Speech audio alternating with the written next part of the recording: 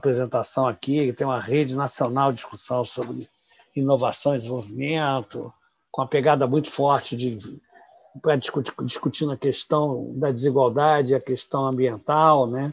Ele e a Helena Lastres, que já foi diretora do BNDES quando o Luciano Coutinho foi presidente. Então, de repente, a gente tentar aí é, construir uma pauta, né? Mas essa coisa da de negócios, deputada, se fala muito, por exemplo, ah, não, tem que facilitar a abertura de empresas. Se a gente olhar os dados da Junta Comercial, o Brasil talvez seja um dos países do mundo que mais abre empresa. A dificuldade é manter aberta. Porque, por exemplo, a taxa de juros no Brasil é um escândalo, né? Então, como é que uma micro, uma pequena empresa se sustenta com a, com a dificuldade de crédito e com o juro que é cobrado, tá certo? Então, acho que a gente podia estar né, tá trabalhando aí uma, uma pauta de discussão até esse ano e também e com isso também dando subsídio para o debate ano que vem, né, que é um que é um ano eleitoral, né, e talvez a gente pudesse organizar uma pauta aí e em parceria da, da assessoria fiscal com vocês e aí a gente fazer isso, tentar fazer de uma forma mais sistêmica, mais arrumada, né? Que pode ser bem interessante. Eu estou até organizando junto lá, pedido lá do, é, do presidente, do André Cigano, deputado, junto com a, com a Dani, que está de Dani Scholl, que está de assessora dele, e a Cris, é, uma coisa sobre as diversas regiões do Estado, as potencialidades. Também é uma outra forma de discussão que a gente pode, que a gente pode ter, né? E até o, e o Fundo Soberano, talvez até, de repente, falando para o André, ver se ele não quer fazer uma, uma, ter uma reunião da Comissão de Emprego em que ele esteja presente para discutir a questão do, do, do Fundo Soberano. Você podia talvez fazer essa sugestão para ele. Maravilha, Mauro. Eu anotei aqui, eu acho que está muito dentro daquilo que a gente se propõe, né? Eu acho que a gente iniciou essa proposta de agenda com você, obviamente, por todo o processo que você já vinha fazendo no âmbito da comissão é, de orçamento, né, e lá de, de tributação, lá com o Luiz Paulo. Uhum. Né, o Luiz uhum. Paulo é alguém que a gente conversa bastante, a Célia, né, a gente tem tido um diálogo bom, ela tem acompanhado também lá a CCJ. Eu acho importante, já anotei aqui, a gente tem é, já no radar, né, já tinha no radar, tanto a AG Rio quanto o DIEESE, né, que para a gente são fontes importantes de, de diálogo. Então, acho que a, a tua sinalização vai muito ao encontro daquilo que a gente está querendo mesmo. Acho que essa proposta também de convidar o André, e eu acho que a gente precisa falar mais sobre o Fundo Soberano mesmo. Assim, eu acho que você, é, obviamente, né, foi no, no ponto. Acho fundamental. E essa dinâmica né, das potencialidades, de cada região, a gente vem fazendo uma conversa com o interior do estado e vez ou outra aparece essa dinâmica, né? Claro, as, não, não são muitos municípios, mas a gente tem feito uma conversa com alguns deles, né, de forma mais próxima. E essa questão, né, é, é de, do não aproveitamento das potencialidades é um ponto que aparece, por exemplo, né? Você tem uma diversidade cultural, mas não só, você tem uma, uma um, um, interior rural também, que podia ser mais potencializado.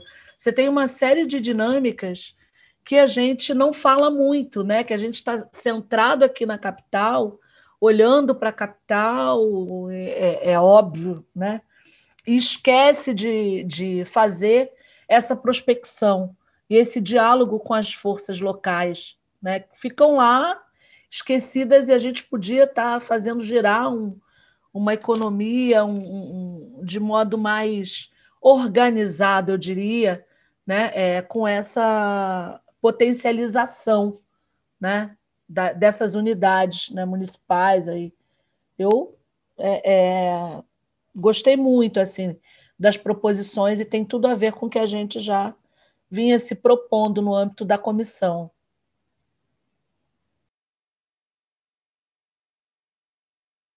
Passo para você, Mauro. É, eu vi que a, a Mariana pediu da tua assessoria, né, para compartilhar a sua apresentação.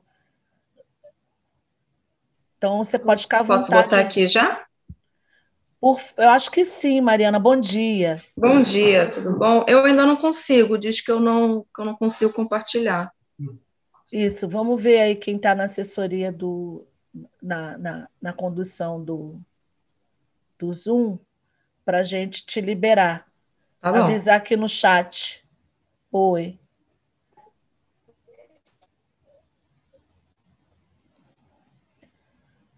Pedir a Neuza para avisar aqui no chat se já está liberada. Está liberada. Obrigada, Neuza. Está aparecendo, gente? Está aparecendo super. Está tudo super bem, tudo tranquilo. Tá bom. Vou aumentar aqui. Obrigada, Mariana. Está tudo ok. Mauro, fica à vontade, viu? Já já está aí só para lembrar que as apresentações que vocês fizeram, a própria Subsecretaria de Desenvolvimento já foi encaminhada para os deputados e para quem estava presente na audiência, tá? Você está mudo, Mauro. Isso, abre o som aí, Mauro como eu já falei, acho que aqui, quando eu tenho que estar com ele fechado, eu estou com ele aberto, quando eu tenho que estar com ele aberto, eu estou com ele fechado. Mas, enfim, vamos lá. Só para avisar, justificar, né, é, a gente não, não, não convidou hoje né, é, a, as secretarias por conta das mudanças, então a gente está só aguardando aí consolidar a, a, toda a mudança no, no secretariado para a gente já acionar os novos secretários e quem está agora à frente das pastas que dialogam com, com a Comissão Trabalho, viu? Então, por isso, hoje, a gente tem especialmente você, Mauro. Você fica obrigado, aí. Obrigado. E o Indalécio, né, Indalécio? Tá ótimo. Bom, mas aí eu vou fazer uma apresentação e aí quem quiser tiver alguma dúvida, quiser interromper no meio dela e tal, e a gente fazer uma conversa e tá consolidando essa discussão da agenda, que é um problema. Quer dizer, o Estado do Rio de Janeiro é pouco se discute, tem muito mito equivocado, tem, não tem uma discussão mais organizada, mais sistêmica, é, tentar pensar é, os complexos produtivos ou sistemas produtivos, como a equipe lá do professor José Cassionato prefere chamar, pensando também do ponto de vista territorial, pensando a cidade como hub de uma economia regional, né? É, então também é, não ficar apenas no, no small is beautiful, né? Tentar, quer dizer, ver como é que a gente tem uma economia estruturada, é, tendo como preocupação central a qualidade de vida e a diminuição da desigualdade, que no, no, no Brasil é uma barbaridade, no Rio ainda maior. Então, principalmente quando se compara com os estados do Sul e Sudeste. Aí podemos começar aí, Mariana. Bom, a gente tem aí uma crise estrutural e hoje eu já resolvi abrir aqui com dados de emprego, né? Essa é a série mais longa com a mesma metodologia de uma base de dados da RAIS, que era do Ministério do Trabalho, e agora com, enfim, o Ministério do Trabalho deixou de existir é, no Ministério da Economia, e eu não botei aqui todas as unidades federativas, mas é, enquanto é um período que nem tem um dinamismo econômico tão grande, né? teve um fato positivo que foi uma queda absurda da inflação, e que isso foi importante, mas do ponto de vista econômico não é um período dinâmico, mas mesmo assim no Brasil você tem um crescimento do emprego formal, que pega o emprego privado mais o emprego público, o emprego privado carteira assinada mais o emprego público, de 132% no Brasil, né? É, de 249% na região centro-oeste, 146% na região sul, é, na região norte, 290%, quer dizer, mostra também, é, do ponto de vista territorial, que a diminuição de desigualdade, o aumento do salário mínimo, né, vai estar impactando mais fortemente também essas regiões é, mais pobres. Tem também uma, uma ida grande da agropecuária lá para o norte, Nordeste, 177%, Sudeste, 103%, Minas Gerais 169, Espírito Santo 188, São Paulo 102 e o Rio um ponto fora da curva com apenas 50%. Então a gente precisa discutir essa especificidade de uma crise estrutural no estado do Rio de Janeiro. né? é, procurando ser realista no diagnóstico e otimista na ação. Nós temos como sair dessa crise, mas a gente precisa. O médico que não tem um bom é, diagnóstico, né, ele pode matar o paciente, então a gente não pode nem ser ufanista, nem ficar é, numa paralisia pessimista, mas ter um diagnóstico realista e estar tá propondo é, como agir, como mudar essa, essa realidade. Né? É, a indústria de transformação no Estado do Rio de Janeiro tem uma queda, um período também que você tem o dólar é, valendo, é, valendo pouco, um real valorizado artificialmente, porque uma taxa de juros muito alta na média desse período, atrai capital especulativo, o dólar fica baratinho, é, fica bom para a classe média para Miami, comprar enxoval, né? viajar para a Europa, para os Estados Unidos, para a Disney, mas é, é, insustentável e um câmbio é, valorizado artificialmente bota as importações muito baratas e, e quebra uma parte da produção interna. E foi isso que aconteceu no Brasil nesse período.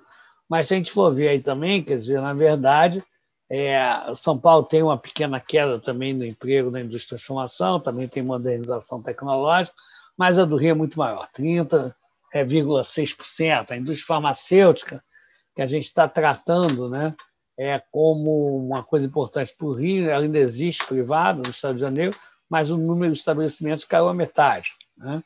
É, Goiás cresceu nesse período e a gente precisa estar é, fazendo essa nota técnica sobre a saúde, que dá muito, tem dado muito trabalho, mas a gente deve terminar até o final do mês, vai estar também discutindo e pode estar trazendo ela para a Comissão do Trabalho, inclusive porque o chamado Complexo Econômico Industrial da Saúde gera é, para mais de 500 mil empregos diretos no Estado do Rio de Janeiro. Se pegar empregos de carteira assinada, o número que a gente levou dá em torno de 460 mil empregos diretos. Pode ir, por favor. Isso é só aquela coisa de que é, a gente alertar aí os cariocas fluminenses, os moradores do estado do Rio de Janeiro, e também quer dizer, discutir isso com o Brasil, né?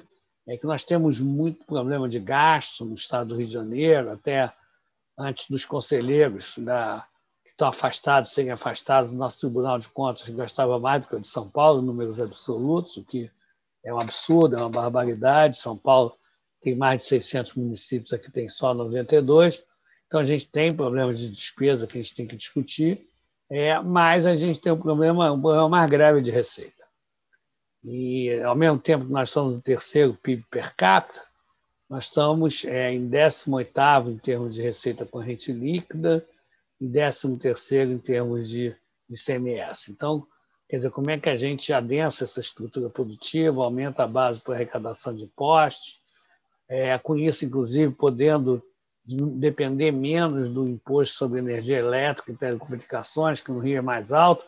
Inclusive, talvez o Supremo venha a proibir isso, deputada Mônica, está aí na pauta lá, e isso vai ser uma coisa complicada para a Receita Tributária do Estado do Rio de Janeiro, que está hoje muito ancorada nesses setores, né? porque são setores também que não tem como sonegar, mas, ao mesmo tempo, isso aumenta o custo de vida do carioca do Fluminense e torna a região menos atrativa para atrair empresas e emprego, né? por ter um custo de, de energia elétrica e telecomunicações mais caro que outras regiões. Então, a gente precisa diversificar, ampliar a base produtiva para poder ter uma, uma receita própria maior. Pode ir, por favor. E, e também pode ir, e também aí, não, vai, vai para frente, é isso, aí. E também, na verdade, cobrar do governo federal, porque o governo federal arrecada muito e devolve pouco para o Rio. São Paulo também é assim, mas Minas já é diferente, Espírito Santo é diferente, total das unidades federativas, e o Rio tem uma crise específica. Eu acho que o país ele tem uma dívida com o Rio, a transferência da capital foi feita sem compensações, veio as Olimpíadas e a dívida ficou toda muito com a Prefeitura do Rio de Janeiro, ainda está endividada por causa disso. Então, a gente precisa estar tá discutindo essa participação federal é, no Estado do Rio de Janeiro. Os nossos hospitais federais, aqui no Estado do Rio de Janeiro, estão sendo muito maltratados, né? com queda de gasto num momento de pandemia, que é um absurdo completo. Né? É, e a gente tem que entender, por exemplo, que as outras unidades da federação quase não têm hospitais federais. E aqui, uma parte significativa, hospitais federais públicos. Né? aqui uma parte significativa dos hospitais públicos é federal. Então, isso tem que ser também discutido com seriedade, com altivez, né, com o governo federal, principalmente no momento em que está se discutindo aí o acordo, novo acordo de recuperação fiscal por nove anos. Pode ir, por favor. Essa a gente também já tinha mostrado, né? É que é, enfim, quer dizer, uma crise muito grande no estado do Rio de Janeiro, com quase 600 mil empregos que, foram perdidos. Se pegar 2020, já vai a mais, né? Tá certo? Já chega a quase 700 mil, né? É, e nós perdemos bem mais que o estado de São Paulo, perdemos 573 mil, São Paulo cerca de menos, um pouco menos de 400 mil, a cidade do Rio tem uma perda que é três vezes maior que a cidade de São Paulo. Então, a gente já vinha numa crise estrutural e a gente afunda a partir de 2015, tem o fim dos mega eventos que deixaram poucos legados, deixaram dívidas, é, tem a questão da, é, da Lava Jato, da Petrobras, das empreiteiras, que também, é, na verdade, você tem que investigar a corrupção, você tem que procurar é, preservar os empregos e e as empresas, punir os administradores que erraram, recuperar o dinheiro que eles pegaram, mas procurar estar preservando as empresas e não se teve é, esse, esse, esse, cuidado. Então, a gente tem o preço do, do royalties por um período, barril do petróleo tinha mergulhado, né? agora está em 73, 74 dólares o barril, mas chegou a ser menos de 30, né? em 2013 estava em mais de 100. Né? Então, a ideia do Fundo Soberano é exatamente por conta dessas oscilações do preço do barril do petróleo, a gente criar um fundo, quer dizer, para, para investimentos, então me parece ser uma ideia é, correta, adequada, né? E, mas a gente tem uma crise é, estrutural e a gente afunda, por uma série de motivos, a gente afunda a Mauro, partir de 2015. Oi. É, a sua fala sobre o Rio de Janeiro, né? O, o quanto a gente é, tem esse problema da arrecadação, o quanto isso impacta aqui o preço né, da energia, enfim, e de outros fatores que encarecem a possibilidade da gente avançar, principalmente as pequenas e microempresas aqui no estado do Rio de Janeiro, né? Uhum. É, sobretudo na capital. Também, na semana passada, o Yamagata, que já entrou aqui, é, da Firjan, ele fez exatamente essa fala, né? Eu, eu é, fiz essa interrupçãozinha porque ele entrou e a, foi bem importante assim a, a, a, fala dele em relação a uma tentativa de criar um, uma, um arco de forças né, entre parlamentares federais né, e, e, estaduais e, e, e outros atores e atrizes para garantir essa dinâmica aqui no estado do Rio de Janeiro uhum. porque senão fica inviável. Sérgio, bom dia. Eu vi que você entrou aí, Yamagata. Não bom sei dia. Como é o teu som. Yamagata. É, você... Escutando. Bom dia. Bom dia. Bom dia. Estou é, fazendo uma memória aqui, na, a, a, partir da apresentação do Mauro, né? Mauro Osório, da, da, nosso coordenador da assessoria fiscal da LERJ, você conhece bem, é, em relação à tua fala na semana passada, né? Da dificuldade em relação às tarifas aqui no estado do Rio de Janeiro e ao peso que isso acarreta, principalmente nas pequenas e micro empresas aqui no estado, né? E o quanto e para as indústrias também, enfim, de modo geral, né? É, e aí lembrei, você entrou, eu fiz essa interrupção para o Mauro. Bom dia, bem-vindo. Então, só para atualizar gente, vocês é, dois. sim. É, vamos lá, a gente tem que tomar só um pouco de cuidado, Mônica, saudar aí a presença da Feijão, para não fazer a questão tributária um samba de uma nota só também. Ah, né? sem dúvida, sem dúvida. Certo? Porque imposto se chama imposto no mundo inteiro, né? porque se não for imposto, ninguém paga. Eu não conheço nenhum país no mundo que consiga ter políticas sociais e políticas públicas só com contribuições voluntárias. Né?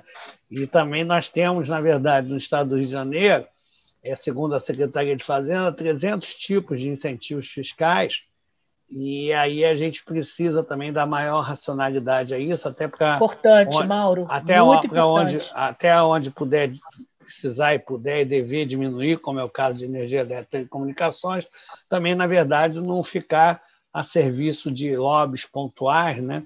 para incentivos fiscais aqui ou ali, isso é uma coisa totalmente descoordenada. Né? Fundamental. Até, até por conta disso, a gente está fechando aí umas conversas com, já tem uma proposta já praticamente pronta, né? com a Universidade Rural e a Universidade Federal do Rio de Janeiro para ter uma matriz de subproduto e, com isso, também a gente poder trabalhar menos no achismo, é, menos a reboque de lobbies e olhando realmente é, enfim, que incentivos fiscais fazem sentido, que incentivos fiscais é, não fazem é, não fazem sentido a gente trabalhar com maior racionalidade. Sempre lembrando que, na verdade, ao contrário do que alguns disseram, é, o problema da receita não deriva centralmente em incentivos fiscais. Né? Alguns acham isso e soltaram números absolutamente reais uma época sobre isso, mas a gente precisa também dar maior racionalidade a isso e, basicamente, está é, tá discutindo né, a questão é, da estrutura produtiva e como ampliar essa estrutura produtiva, e a indústria continua tendo um papel decisivo e fundamental. É, acho que a gente tem que discutir um pouquinho o Estado do Rio de Janeiro, um pouquinho menos economia criativa, um pouquinho menos, trago essa polêmica, Mônica, um pouquinho menos é, a questão do turismo, discutir um pouco mais a questão da indústria mesmo no Estado do Rio de Janeiro, e, e hoje em dia é muito difícil também definir é, a fronteira onde começa a indústria, onde acaba os serviços, né? É, está tá se trabalhando muito com a indústria 4.0, enfim, tentar, mas na verdade tem uma lógica sistêmica. Então, por exemplo, a ideia da saúde, né? Você, na verdade, você está pensando nas sinergias que tem de atividades que são de serviço, que são industriais, né, que são de atendimento à população, e como é que isso aí pode dar aí um bem bolado aí que que amplie é, a geração de emprego no Estado de Janeiro, a diminuição da dependência do exterior, que a gente viu que agora na pandemia é, isso é dramático, e trabalhar o tempo todo com a ideia de atividades indutoras e não indutoras, ou seja, mais do que o recorte grande, média, pequeno, microempresa, é tentar olhar aquelas empresas que podem ser indutoras. O que são empresas que podem ser indutoras? São empresas que podem vender para para outras regiões e trazer renda nova para o Estado, são empresas que podem substituir importações, são empresas que podem atrair consumidores para o Rio de Janeiro, para a gente poder estar tá ampliando é, a nossa dinâmica é, econômica. Né? Um cabeleireiro aqui no Flamengo, onde eu moro, com todo respeito aos cabeleireiros, ele depende é, de uma, da renda que já existe no Rio de Janeiro, uma loja de, de comidas para cães e gatos, que né, dependem muito da renda apesar delas estarem muito dinâmicas, cada vez mais as pessoas têm mais cães e gatos de estimação, né? E ontem até fui numa loja, Mônica, imensa, em Niterói.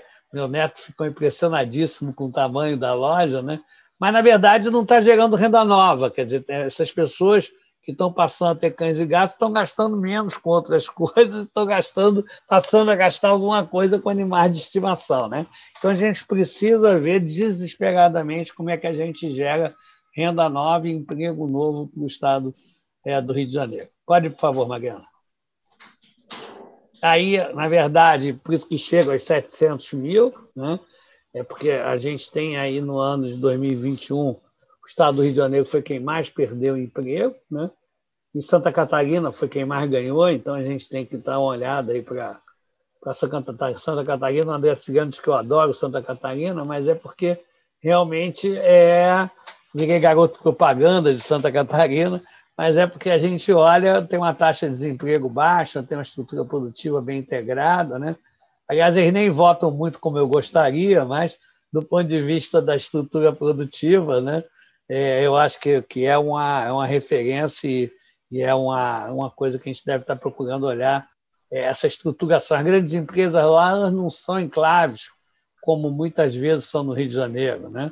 A Rio Polímero foi para Caxias, não atraiu indústria de plástico, até porque não tem infraestrutura, não tem onde colocar. A grande empresa ela tem condição de negociar com o poder público a infraestrutura dela, ou ela pode também ela mesma criar, como a Petrobras pegou, deu um dinheiro lá para o FRJ e se fez a ponte espraiada ali na Ilha do Fundão para resolver a saída das pessoas da Ilha do Fundão no horário de rush, de saída e de chegada. Né? É mais uma indústria de plástico é, para usufruir da matéria-prima que a Rio Purim faz, ela precisa encontrar uma infraestrutura pronta. E a nossa periferia metropolitana é a que tem a pior infraestrutura entre todas as periferias metropolitanas do Sul e Sudeste. Pois não. Osório, será que em Santa Catarina, no Paraná, aquela região, não é o agronegócio que é forte lá? Não, a indústria é muito forte também. O estado brasileiro mais industrializado no país, no sul e sudeste, é Santa Catarina. Enquanto aqui no estado do Rio de Janeiro nós temos, e eu tenho uma tabela que eu vou mostrar na frente sobre isso. No estado do Rio de Janeiro nós temos 9% de emprego industrial e Santa Catarina é quase 30%. Lá tem uma estrutura produtiva integrada, então você tem agricultura, mas essa agricultura ela também sofre um processo de industrialização na antiga Sadia, na antiga Perdigão, em uma série de outras é, indústrias. Então, é uma estrutura produtiva é, integrada, em que, de fato, a agricultura também tem seu peso, mas é uma, é uma estrutura, é uma visão mais sistêmica, é uma, tem uma enfim, estrutura produtiva com maior nível de integração. Pode ir, por favor. Bom, isso aí é a variação esse, esse ano, né, até abril. Né? E aqui a gente colocou os municípios que mais geraram empregos e aqueles que mais perderam, né, e o percentual. A gente tem que tomar um sério cuidado com os dados agora na pandemia, Mônica, porque de emprego eles estão meio desarrumados, né? As nossas bússolas estão com algumas variações. Então, por exemplo, a Real do Cabo Agora você tem o E-Social, vai acabar a RAIS, vai acabar o CAGED, e no E-Social vai estar o emprego público, e tem uma, é, algumas classificações de emprego que antes não estavam na RAIS e que agora vão estar no E-Social. Então, essa coisa do Ministério da Economia, né, está fazendo uma série histórica chamando de novo CAGED, metodologicamente não me parece razoável, né? E a Rael do Cabo aqui é porque botaram todo o emprego público, já botaram antes do prazo, né? Então, não, é, não tem nenhum milagre econômico em Arral do Cabo. Simplesmente colocaram dentro do CAGED um emprego que não estava, que é um emprego público de, de serviço jurídico único. Né? Mas, enfim, a gente vê aqui, por exemplo, que é, tem algumas, alguns municípios, quer dizer, com maior nível de industrialização, como Volta Redonda, como Resende, como Nova Friburgo, aí, é, bem colocado. Niterói aí, retomando aí com políticas anticíclicas né, de, de preservação de emprego, de, de, de renda básica para uma parcela significativa é, da população. Né? E São João da Barra, que até vem, vem vindo bem, né? deve ter paralisado alguma das obras lá relacionadas ao Pôr do Açu, mas que continua avançando como projeto, e aí é a que mais perdeu aí nesse período de, é, de janeiro a abril. Pode, por favor. Essa é a taxa de desemprego, a gente vê novamente aí a Santa Catarina como destaque, com uma taxa de desemprego, inclusive, bem menor que o conjunto do sul do país. Então, na verdade, Santa Catarina é um case específico, e o estado do Rio de Janeiro com 19,4%, né? É, e o Brasil aí com 13,9%, então reforça Mauro, uma. Pois não.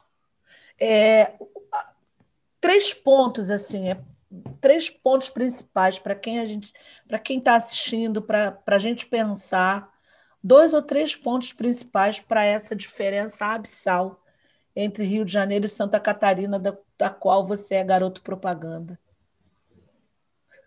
Quais você destacaria? Não, eu destacaria, eu destacaria o fato de nós termos instituições, né? É, enfim, quer dizer, lá muito, muito organizado. Nós temos uma universidade muito ativa, muito articulada, a vida regional, a realidade regional. Parece que o Senai C-Ticket de lá é um exemplo, né? com, todo respeito ao Senai C-Ticket aqui do Rio de Janeiro, mas é uma coisa que eu já ouvi, inclusive, de pessoas quer dizer, da, da própria Firjan. E, e, e é isso, quer dizer, ou seja, ali, por exemplo, aqui nós temos a Petrobras mas 80% dos fornecedores da Petrobras estão fora do estado do Rio de Janeiro. Tá certo? As grandes empresas lá, Tubo Tigre, Perdigão, quer dizer, Sadia, né? É, é, a VEG, elas também contratam insumo de lá, quer dizer, você tem ali uma, um encadeamento, você tem uma, uma estrutura produtiva com maior nível de integração, você tem um setor público que funciona melhor, você tem, é, enfim, então é toda uma história, né? Que 5,3% né, quase pleno emprego, porque o que os economistas consideram que 5% ou abaixo de 5% é muito aquelas pessoas que a economia está tão dinâmica que a pessoa se dá o direito de pedir demissão do emprego para procurar é, escolher outra coisa que ela acha que ela vai ficar melhor, ou do ponto de vista de salário, ou do que ela gosta de fazer, ou do respeito que ela tem do ambiente de trabalho onde ela está, né? Mas eu acho que, é, é, é, na verdade, a estratégia é coordenação de políticas, como é que eu integro a política de emprego com a política de transporte, com a política de infraestrutura. É, por exemplo, eu me lembro do, Júlio Bueno, né, que já não está aqui entre nós, é que ele dizia que quando ele levava um empregado, uma empresa na Baixada Fluminense, na periferia metropolitana, é, o empresário perguntava: cadê, cadê a cidade? Onde é que meus trabalhadores é, vão morar? Uma vez eu conversei, eu fiz uma palestra para os fornecedores de, um, de uma loja de venda de materiais, material de construção, e, e aí tinha lá um fornecedor, eu fiquei conversando com ele no final, industrial, ele me disse: Olha, eu tenho duas plantas em São Paulo e uma em, em Caxias. Eu falei: o arco. Na época, o arco ainda estava, quer dizer, com menos violência e tal, ele estava usando. Falou: não, agora eu chego duas horas mais cedo em São Paulo. Mas eu estou pensando em tirar a minha planta de Caxias e levar para São Paulo. Eu perguntei por quê. Falou porque o meu sinal de internet em Caxias cai com muita frequência.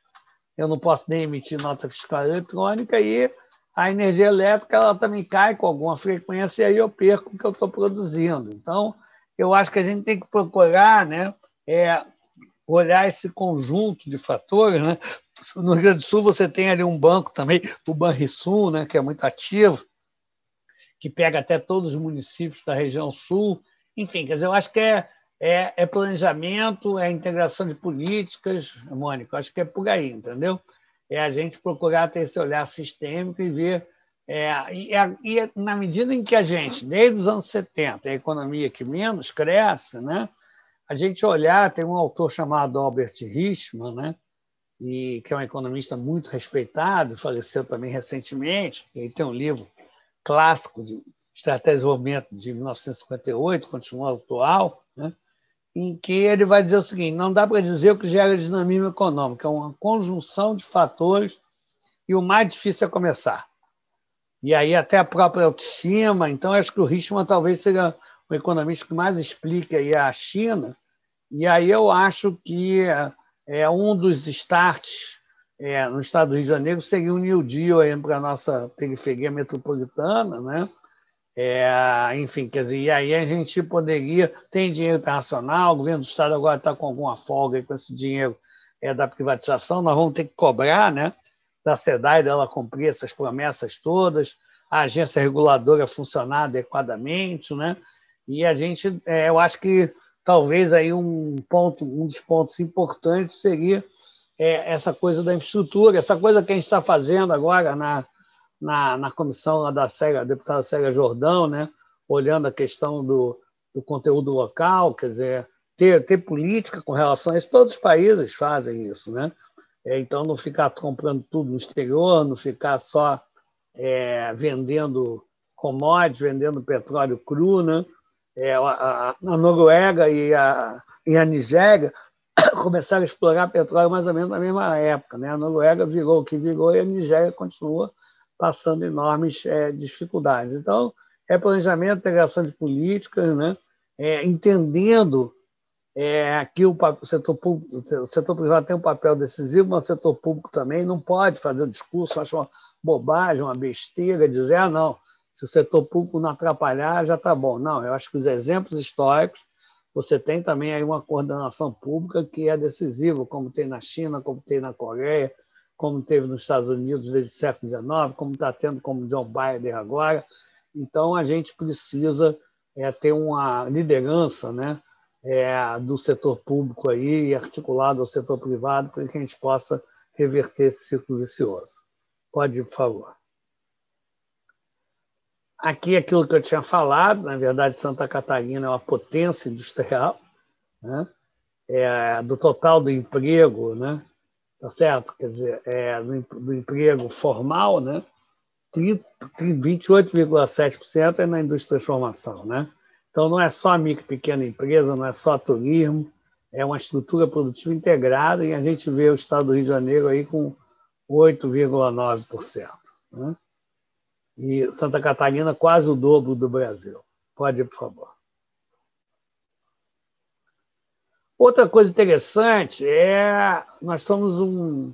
Aí são os municípios no sul e sudeste com mais de 100 mil habitantes, os que têm melhor relação emprego privado e população, né? os que têm pior. Salta aos olhos aí uma coisa que é Macaé. Macaé, as pessoas dizem, Macaé quebrou, Macaé está um horror, né? É, já há uns 4, 5 anos eu vejo muita gente fazer discurso e botar Macaé como geni, né?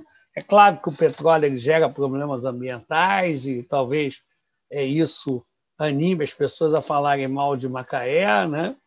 É, mas Macaé está longe de ser um exemplo negativo no estado do Rio de Janeiro, mesmo do ponto de vista de, dos indicadores de saúde, do índice Firjan de saúde.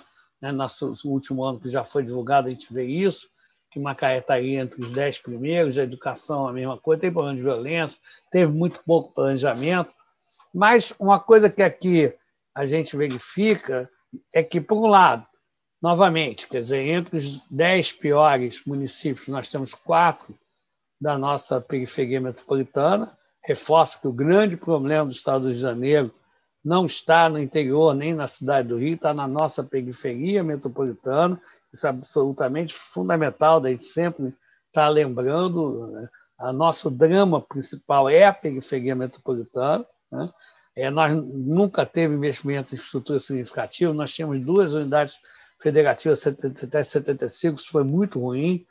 A Guanabara ficava com todo o imposto estadual arrecadado na cidade de Janeiro, nenhuma outra unidade da federação tinha esse privilégio. Né? Por isso é que, na verdade, se faz a obra do Guandu pegando água na Baixada e beneficiando só a população da cidade do Rio de Janeiro. Né?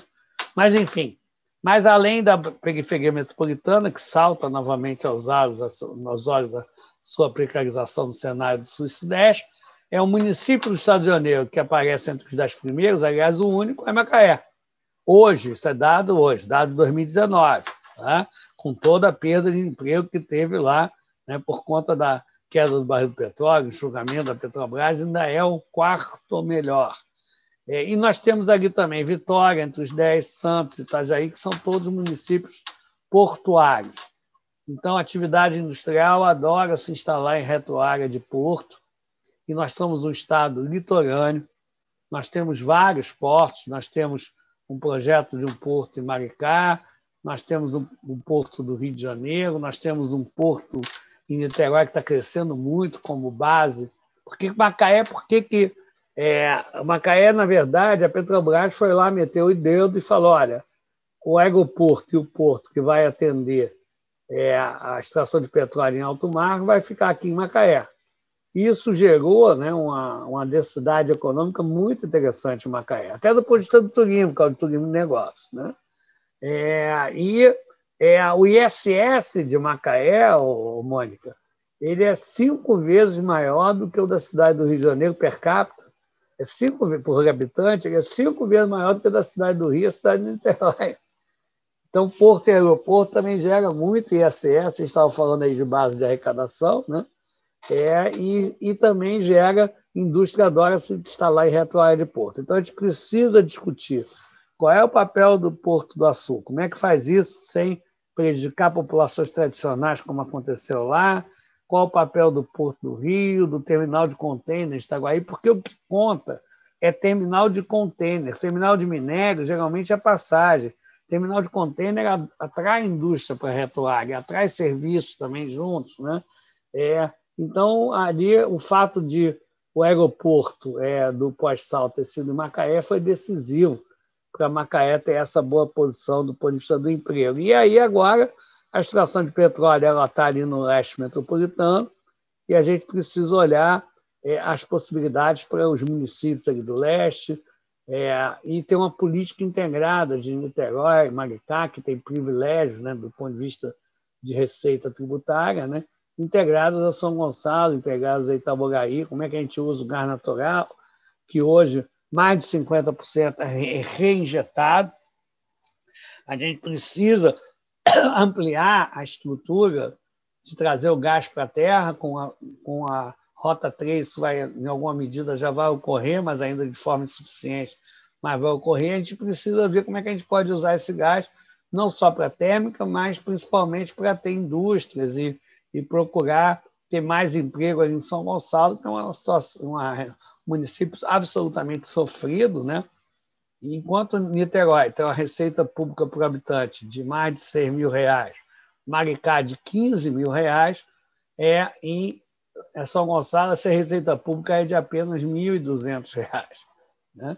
Então a gente precisa pensar em uma política integrada para o leste metropolitano e a discussão de qual é o papel de cada porto no estado do Rio de Janeiro.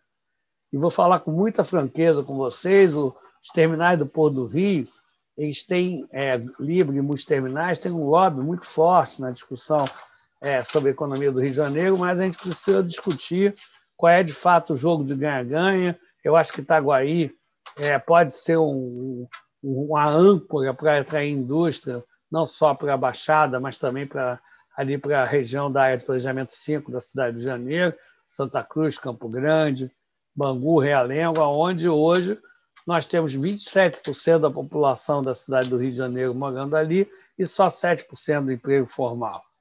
Por outro lado, no centro, zona portuária, nós temos 35% do emprego formal da cidade de Janeiro e menos de 5% da moradia. Então, a gente precisa desesperadamente agora ter uma política né, para geração de moradia no centro. A gente cometeu a bobagem de ter proibido moradia em uma certa época na cidade de Janeiro, no centro. Isso precisa, do ponto de vista da qualidade de vida, do ponto de vista da questão do meio ambiente, de de diminuir a necessidade de uso obrigatório de transportes, enfim. É, eu acho que essa, essa tabela também é importante. Pode ir, por favor, Mariana. E aí as propostas, né? Esse é o primeiro ponto, quer dizer, Mônica, eu acho que a gente precisa ter um, um bom diagnóstico na definição de estratégia e como é que você integra as políticas, quer dizer, como é que você integra. Por exemplo, tem uma, um centro de ensino superior lá em Campos, que fez um curso de cerâmica, mas era um curso tão sofisticado que não resolvia para uma cerâmica que tem lá em Campos, que ainda é mais tradicional. Então, a gente precisa estar definindo a estratégia de ensino, de ensino superior, de ensino técnico, é, de, crédito, pensar essas coisas integradas para cada é, sistema produtivo prioritário e também infraestrutura e também é, qualidade de vida e pensar essas coisas de forma integrada. Pode falar.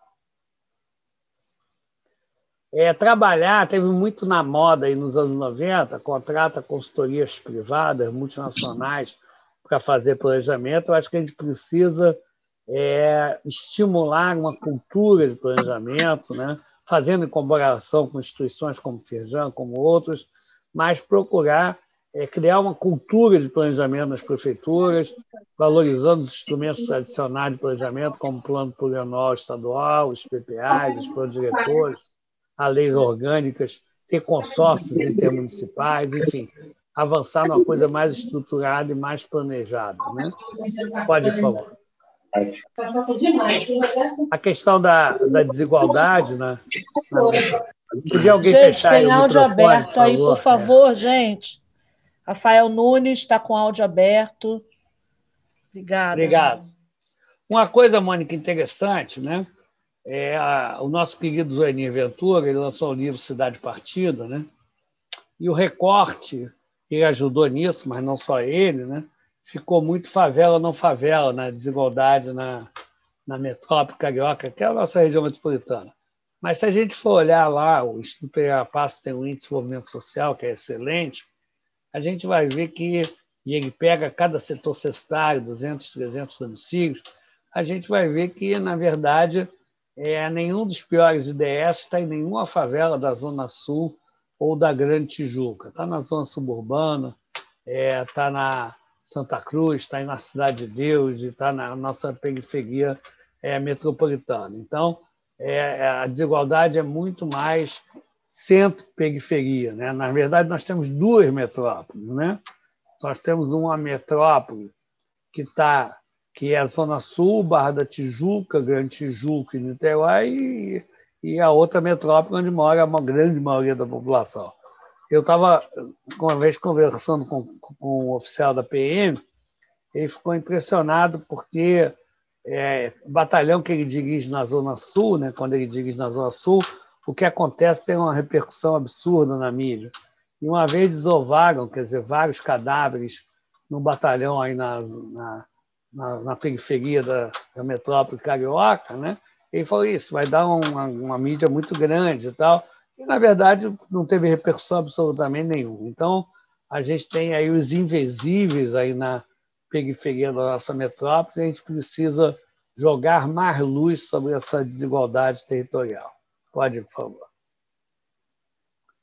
E aí tem o Instituto Rio Metrópole, a LERJ é, criou aí uma Câmara Metropolitana a partir de um trabalho né, liderado pela equipe aí do Vicente Loureiro, do Jaime Lerner, que nos deixou recentemente. Né?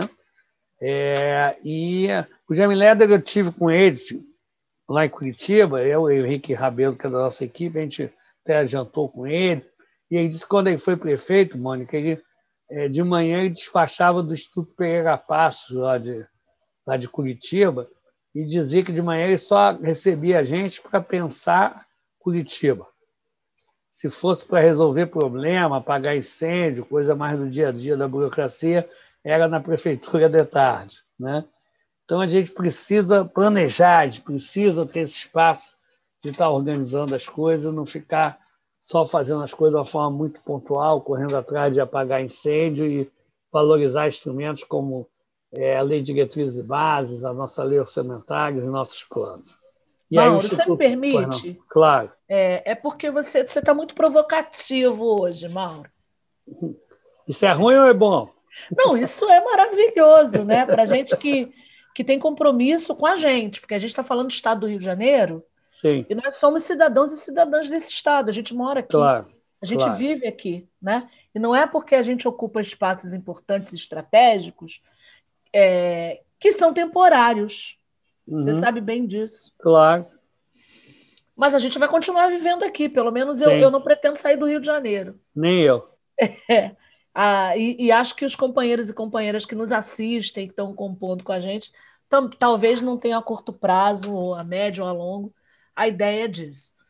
Então a gente precisa melhorar o Rio de Janeiro para a gente, porque eu quero ver claro. um Rio de Janeiro melhor. Claro. Né? Quem não quer? Né? Uhum. Com pleno uhum. emprego, a gente tendo uma economia circulando, podendo, consequentemente, né, ter é, indicadores diminuindo, por exemplo, de violência, de desemprego, né, de precarização, de população em situação de rua, como a gente tem hoje. Né? Uhum. E, e, você está falando muito dessa agenda. Eu acho que a, a, hoje, se eu pudesse pensar naquela nuvem de palavras, né? a, a, a sua intervenção, eu pensaria a palavra agenda, Rio Sim. de Janeiro Sim. estratégico. Né? Sim para além de planejamento, mas eu pensaria essas três palavras. E que tem muito diálogo com o que a gente está pensando na Alerj. Eu acho que, hum, como claro. um todo, mas em, em, comissões muito específicas, você cita aqui recorrentemente, né, tanto a figura é, é, da deputada Célia Jordão quanto do deputado Luiz Paulo, né, que, enfim, tem já vindo com uma orientação muito é, é, bem definida desde o início né, dessas audiências e de discutir, de propor, juntamente com a presidência da casa, né, você trouxe Sim. aqui também, pensando o fundo soberano, eu acho, Mauro, que a gente precisa, eu quero propor aqui, inclusive para a assessoria, chamar atenção e é, para as nossas assessorias, que é, é, essa sua apresentação ela se encerra, mas se abre quer dizer, temporariamente, né, hoje, como cronograma, uhum. mas a gente já pensar para daqui a 15 dias, talvez, essa, essa. A gente vai conversando antes disso, obviamente, mas pensar esse encontro mais é, ampliado com uhum. atores importantes que você traz aí para a gente firmar um processo de agenda. É, mais efetiva nesse processo. A gente está fazendo discussões picadas, que tem um diálogo muito forte, nas comissões. Então, juntar todo mundo nessa agenda mais efetiva, a despeito Isso. desse último exemplo que você dá. Assim. Vamos Sim. fazer uma agenda de conversa neste período sobre isso. E é isso, isso. que vai ocupar esse espaço. Então, eu quero isso. já é, deixar aqui essa proposição a partir da, da provocação que você faz, tá? Perfeito. Não sei se eu fui pertinente, mas. Excelente. É, eu, na verdade, quer dizer, meu último, o último livro, quer dizer, que, que eu organizei chama-se Uma Agenda para o Rio de Janeiro. Foi publicado pela Fundação Getúlio Vargas. Então, eu acho que você foi brilhante e precisa, né? É, no que eu tenho procurado. E o título aqui também é Agenda Fluminense, né? Aí dessa, dessa, enfim, dessa agora desse slide que a gente está aqui é, é, discutindo. Então, eu acho que é isso. E quando o André, esse ano, virou presidente da LERJ, né, é, eu percebi que ele tinha acessibilidade. Quer dizer, a gente começou a conversar e um dia ele me chamou ali no final de 2019 falou, olha, nós criamos uma assessoria fiscal na LERJ, baseada no Instituto Fiscal Independente é do Senado. É, a diretoria vai ter mandato, né? E aí eu queria ver se você topa vir para cá e tal. Eu sou professor, é, não sou dedicação exclusiva na FRJ, posso acumular, estava lá no Instituto Pereira, Pereira Passo, que eu adorei trabalhar lá quatro anos, mas, na verdade, querendo discutir o conjunto do Estado. Eu acho que a cidade do Rio ela tem que ser o hub de, um, de uma economia regional, quer dizer, esse Estado tem que cada vez se integrar mais, é uma bobagem pensar em difusão em um segundo Distrito Federal, eu acho que não é por aí. Eu acho que isso é uma coisa elitista, é uma coisa de falta de conhecimento, é de ignorância sobre o Estado do Rio de Janeiro, quem propõe isso, né, de desespero. É, mas a gente é, tem que ter calma, né? É, tem um amigo que diz que o pai dele sempre dizia, Mônica, que no mar quem apavora morre, né?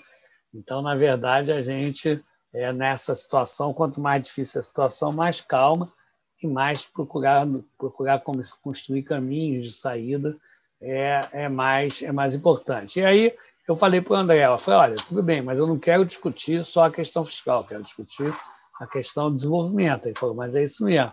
E eu preciso de uma equipe, e também nós temos uma equipe, a Mariana que está aqui é concursada, né? É, tem, enfim, que ela é da área de comunicação social e tem nos ajudado muito na parte de texto, de formulação, porque ela tem uma visão ampla também. Tem uma outra moça concursada que é mestre em contabilidade pela FRJ, temos mais três economistas, tem o Aldir, que já está na casa há muitos anos, tem uma larga experiência, e o Henrique Rabelo também, que, que é mestre lá pelo Instituto de Pesquisa e Planejamento Urbano Regional da FRJ e já trabalha comigo há 12 anos. Né? Então, a ideia nossa é exatamente por aí, Mônica, e eu fiquei muito feliz aí de te conhecer e de conhecer também alguns deputados que eu não conhecia, como a Série, alguns que eu conhecia pouco, como o Rubens Bom Tempo, que eu estou vendo com uma, uma proposta eh, muito parecida à nossa a deputada Marta, enfim, vários outros, não quero que seja injusto aqui de estar deixando citar algum, e eu, mas eu acho que a LERJ hoje está tendo é, essa pegada, né, e, e aí eu acho que aproximando da demais instituições fundamentais da sociedade civil, como a Firjan, como o FEComércio, como como o DIAES, como o Sindicato dos Trabalhadores, né? enfim, instituições da sociedade civil, e a gente está procurando, está construindo essa agenda e os starts para sair desse, desse ciclo vicioso. Acho que é por aí mesmo, você acha que você foi na, na mosca, aí no, no que é, pelo menos, a, a, a preocupação que a gente tem procurado passar. Vai lá, Mariana. Já está acabando aqui. Pensar também qual é a agenda ter, territorial para o interior fluminense. Mônica, Conta a lenda que teve um governador que chegou e começou o governo, e aí falou: não, esse, esse médio Paraíba está muito grande, traz aí uma caneta.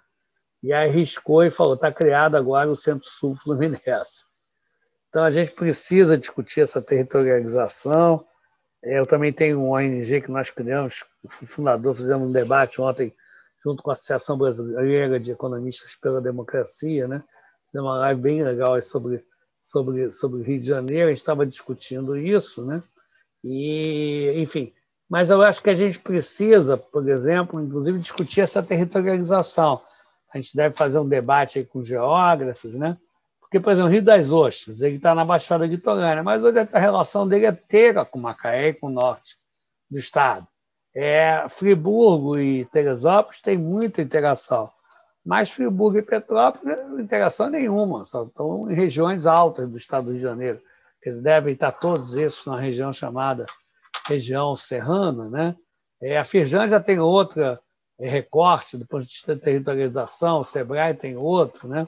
Eu acho que a gente precisa também estar discutindo a agenda e qual é essa é, ter, enfim, quer dizer, qual é essa territorialização, onde é que estão as sinergias entre os municípios que a gente pode estar apoiando e ampliando. Pode ir.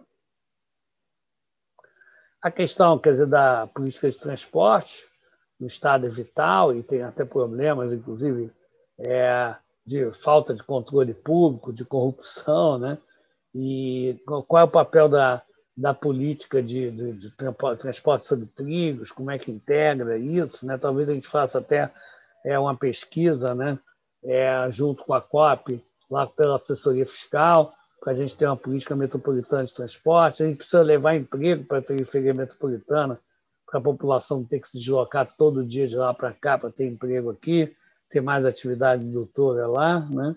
É, enfim, Estamos fazendo um trabalho que você já tinha começado bem antes de vir para cá, com dinheiro do Banco Mundial, que a ideia, Mônica, é pegar, a gente está fazendo lá para Queimados, é pegar o entorno da estação de trem de Queimados e ver como é que é, apoia aquilo lá para melhorar a qualidade de vida, com polícia comunitária, com, com aumentar a caminhabilidade, é, a, a estimular mais o uso de bicicleta, é, fazer com que o centro Queimados também tenha mais moradia, comércio e moradia integrado, enfim, quer dizer, é, ampliar a qualidade de vida. Né? É, a estação de trem hoje, Mônica, de lá, eu acho que outros também não têm, não tem, por exemplo, nada para deficiente físico. Né? Então, é uma discussão bem interessante que a gente está fazendo, a gente está terminando aí uma proposta, espero que a Prefeitura, junto com o Governo do Estado, lá de Queimados, possa implementar. Tem muita coisa que depende apenas de legislação também, né? É, desestimular em terrenos vazios, no centro queimados, né? É, que estão ali vazios para é, especulação imobiliária. Isso aí a legislação urbana brasileira permite desestimular que fique ocioso, estimular o uso, o uso da terra que está em regiões infraestruturadas, que teve dinheiro público ali investido, e a gente possa estar tá melhorando a qualidade de vida urbana, né? E aí eu acho que esse trabalho está ficando bem bacana, espero que ele seja posto é, em prática. Pode, por favor.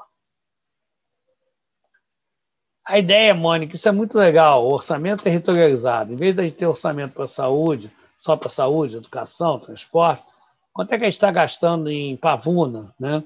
que é uma das regiões administrativas com maior precarização é, na cidade do Rio de Janeiro, em Japeri, né? É, ou no Principado do Leblon, né?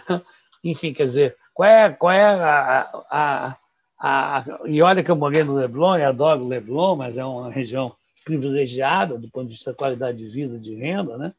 Então, como é que a gente pode ter aí uma política que diminua essa desigualdade? Tem uma frase que eu gosto muito que diz que quanto mais desigual a metrópole, mais violenta, quanto mais igualitária, mais inovadora. Então, eu acho que o orçamento territorializado pode dar mais transparência, pode ajudar. Não é fácil de plantar, mas eu acho que a gente tem que procurar caminhar por aí. Pode, por favor. Apoiar os órgãos de pesquisa, de estatística, isso é fundamental. Hoje a gente tem um apagão de dados de emprego, porque o CAGED está com problemas e a PNAD também, né? A PNAD não está podendo fazer pesquisa domiciliar, né? Então, talvez esteja até exagerando os dados de desemprego e o CAGED também está, com certeza, subestimando é, os dados de, de emprego, de evolução do emprego. Por exemplo, aquele caso que eu citei de Arraial do Cabo, que está inflando a criação de emprego de coisa que não foi criação de emprego, foi simplesmente emprego público que foi colocado é, no novo CAGED e nós precisamos brigar, de fato, para que tenha o censo 2002, o Supremo já determinou isso ao governo federal, né? censo brasileiro, mas para isso já precisa gastar dinheiro esse ano para poder fazer o censo ano que vem. A gente precisa exigir isso do governo federal e apoiar os nossos órgãos. O CEPERD hoje não tem um estatístico, mano. Né? O Instituto Passo, que é um bom instituto, trabalhei lá, mas a gente tem uma estrutura de, de pessoal lá já envelhecida, Maricá recentemente criou lá o Instituto Darcy Ribeiro, né? um órgão de pesquisa e de estatística. Volta Redonda tem, é, e acho que precisava também criar ou em outros municípios ou por conjuntos de municípios, mas com certeza é, informação é absolutamente decisivo e fundamental. Pode por favor. Questão da reforma tributária, Pacto Federativo e Reut, a gente viu isso de quanto o governo federal arrecada devolve. É, precisamos discutir a questão dos royalties que está, está pendurado no liminar, né? precisa discutir a questão do ICMS, que a gente não pode cobrar sobre o petróleo. Tem a questão da Lei Candir, que a gente recebe uma miséria, quer dizer, é, quando exporta petróleo para outros países. Né? Enfim, então essa também é uma discussão muito importante. E também a discussão interna da receita de cada município, né? Para ter uma coisa mais igualitária entre os municípios. Pode ir. Pode botar todos aí? Vai, vai, vai, vai. Tá bom. Pode botar o sistema de inovação também. Eu acho isso. Eu acho que do ponto de vista aí econômico, né, é pensar a partir não de da, da indústria farmacêutica ou dos serviços de saúde, né, mas de atividades que têm sinergias entre si. Da mesma forma, petróleo e gás, atividade naval, atividade de serviços, né? pensar essas atividades aí de turismo, entretenimento, esporte, cultura e mídia de forma integrada, ver de onde que a gente sai. Tem gente que acha que não tem mais emprego é, industrial na cidade de Janeiro. Mônica, tem 150 mil empregos na indústria de transformação, pagando salário médio de 5 mil reais na cidade de Janeiro. Tem gente que acha que hoje o turismo na cidade do Rio de Janeiro é muito maior do que é. Nós temos 20 mil empregos em hotéis e pousadas formal e 150 mil na indústria. É claro que o turismo pode crescer, né? crescer articulado a esportes, o Rio Capital de Esporte da América Latina, mas a gente tem que ver de onde que a gente está partindo é para cada uma dessas atividades. Ah, tem muita iniciativa das Forças Armadas no Rio, tem uma fábrica de medicamentos do Exército, da Marinha, tem o estaleiro nuclear ali é, Itaguaí, que dizem que é o que é um projeto maravilhoso, né, muito grande. É, temos o estaleiro da, da Marinha, né, ali na Bahia de, aqui na Bahia de Guanabara. É, a questão da construção civil, que também nós temos muitas indústrias que atendem a isso no estado do Rio de Janeiro, e a questão de pensar isso junto com a inovação junto. Né?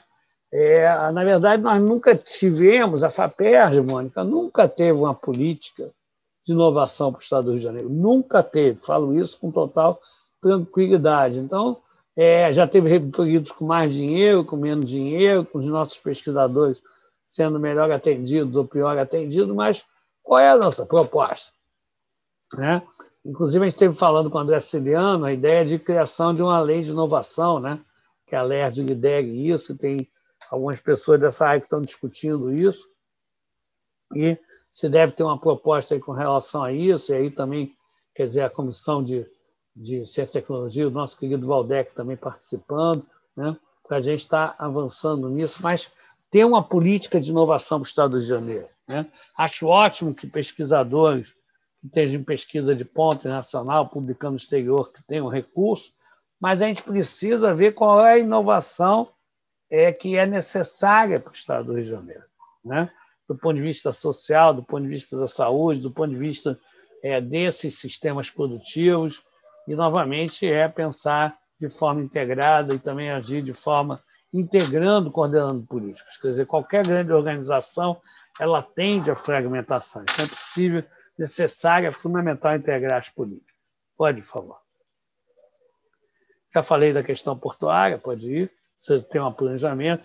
Questão de cultura, né? Esporte, se fala muito aí a Mônica, o trabalho dela, né? Isso é muito importante para a autoestima, é uma política transversal, né? Não estou querendo que faça junto cultura e esporte, não, mas são duas coisas que são decisivas, não são tão caras.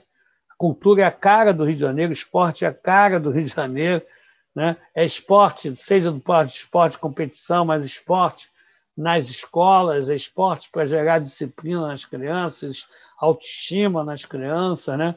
transformar a escola, a ideia de escola-bairro, né? de, de trazer a vida da comunidade para dentro é, das escolas, e a política cultural como uma política aí transversal, né? enfim, que pensar é, todas as culturas que tem no estado do Rio de Janeiro. Né? A nossa Baixada, por exemplo, tem uma cultura de, de grupos de, de, de dança, de, de, de, de, festa junina, né? de coisas mais nesse sentido de como tem em Caruaru, nós temos na Nova Iguaçu. Quer dizer, quem conhece isso? Então, é, teve até um mapeamento algum tempo atrás que a Secretaria de Cultura fez, a gente está atualizando isso e ter é uma política cultural para o Estado do Rio de Janeiro, né? E, e, e, reviver coisas como o nosso canecão, porque eu acho que é um ícone, entendeu? Eu acho que também isso é importante. A gente tem que ver como é que a gente faz isso, né? É a música, é, é talvez um dos principais, ou principal capital intangível brasileiro, e isso passa muito pelo Rio. A gente vai para o exterior. Uma vez eu estava em Atenas, Mônica, e estava tocando numa praça Tom Jobim, né? Eu estava em Ligue, na França, estava tocando Filho Maravilha, com o nosso Jorge Benjor, né? Então, é, isso é, é, um patrimônio do Rio de Janeiro e que a gente precisa né, estar é, tá disseminando isso e estar tá apoiando isso. Tem o Faustini, que, aliás, agora é até secretário de, do, do Eduardo Paes, né, que, é um, que é um cara com uma experiência muito rica de, de apoio a, a, iniciativas culturais, quer dizer, em comunidades, né? E eu acho que, que, que iniciativas quando a dele têm que ser apoiadas, têm que ser ampliadas e precisa ter uma política para isso. Pode, por favor. E aí, é a última, mas não menos importante, o Estado do Rio de Janeiro nunca vai ter soja de grande propriedade, essas coisas, mas a gente compra muita coisa fora, a gente usa muito defensivo agrícola no Estado do Rio de Janeiro, e aí eu acho que é fortalecer a nossa pesagem, materna, né? e ter uma política de agroecologia é, que tem uma preocupação ecológica, mas não precisa de certificação, agricultura familiar, que no Brasil é quem fornece a maior parte dos alimentos, e a agricultura orgânica, né? aí com certificação, enfim, quer dizer, é, às vezes com preço também mais alto, mas também é importante, gerando emprego, gerando renda e alimentos de, de qualidade, procurando também ter um preço mais, mais acessível. Acho que é a última, né, Mariana? Pode ir.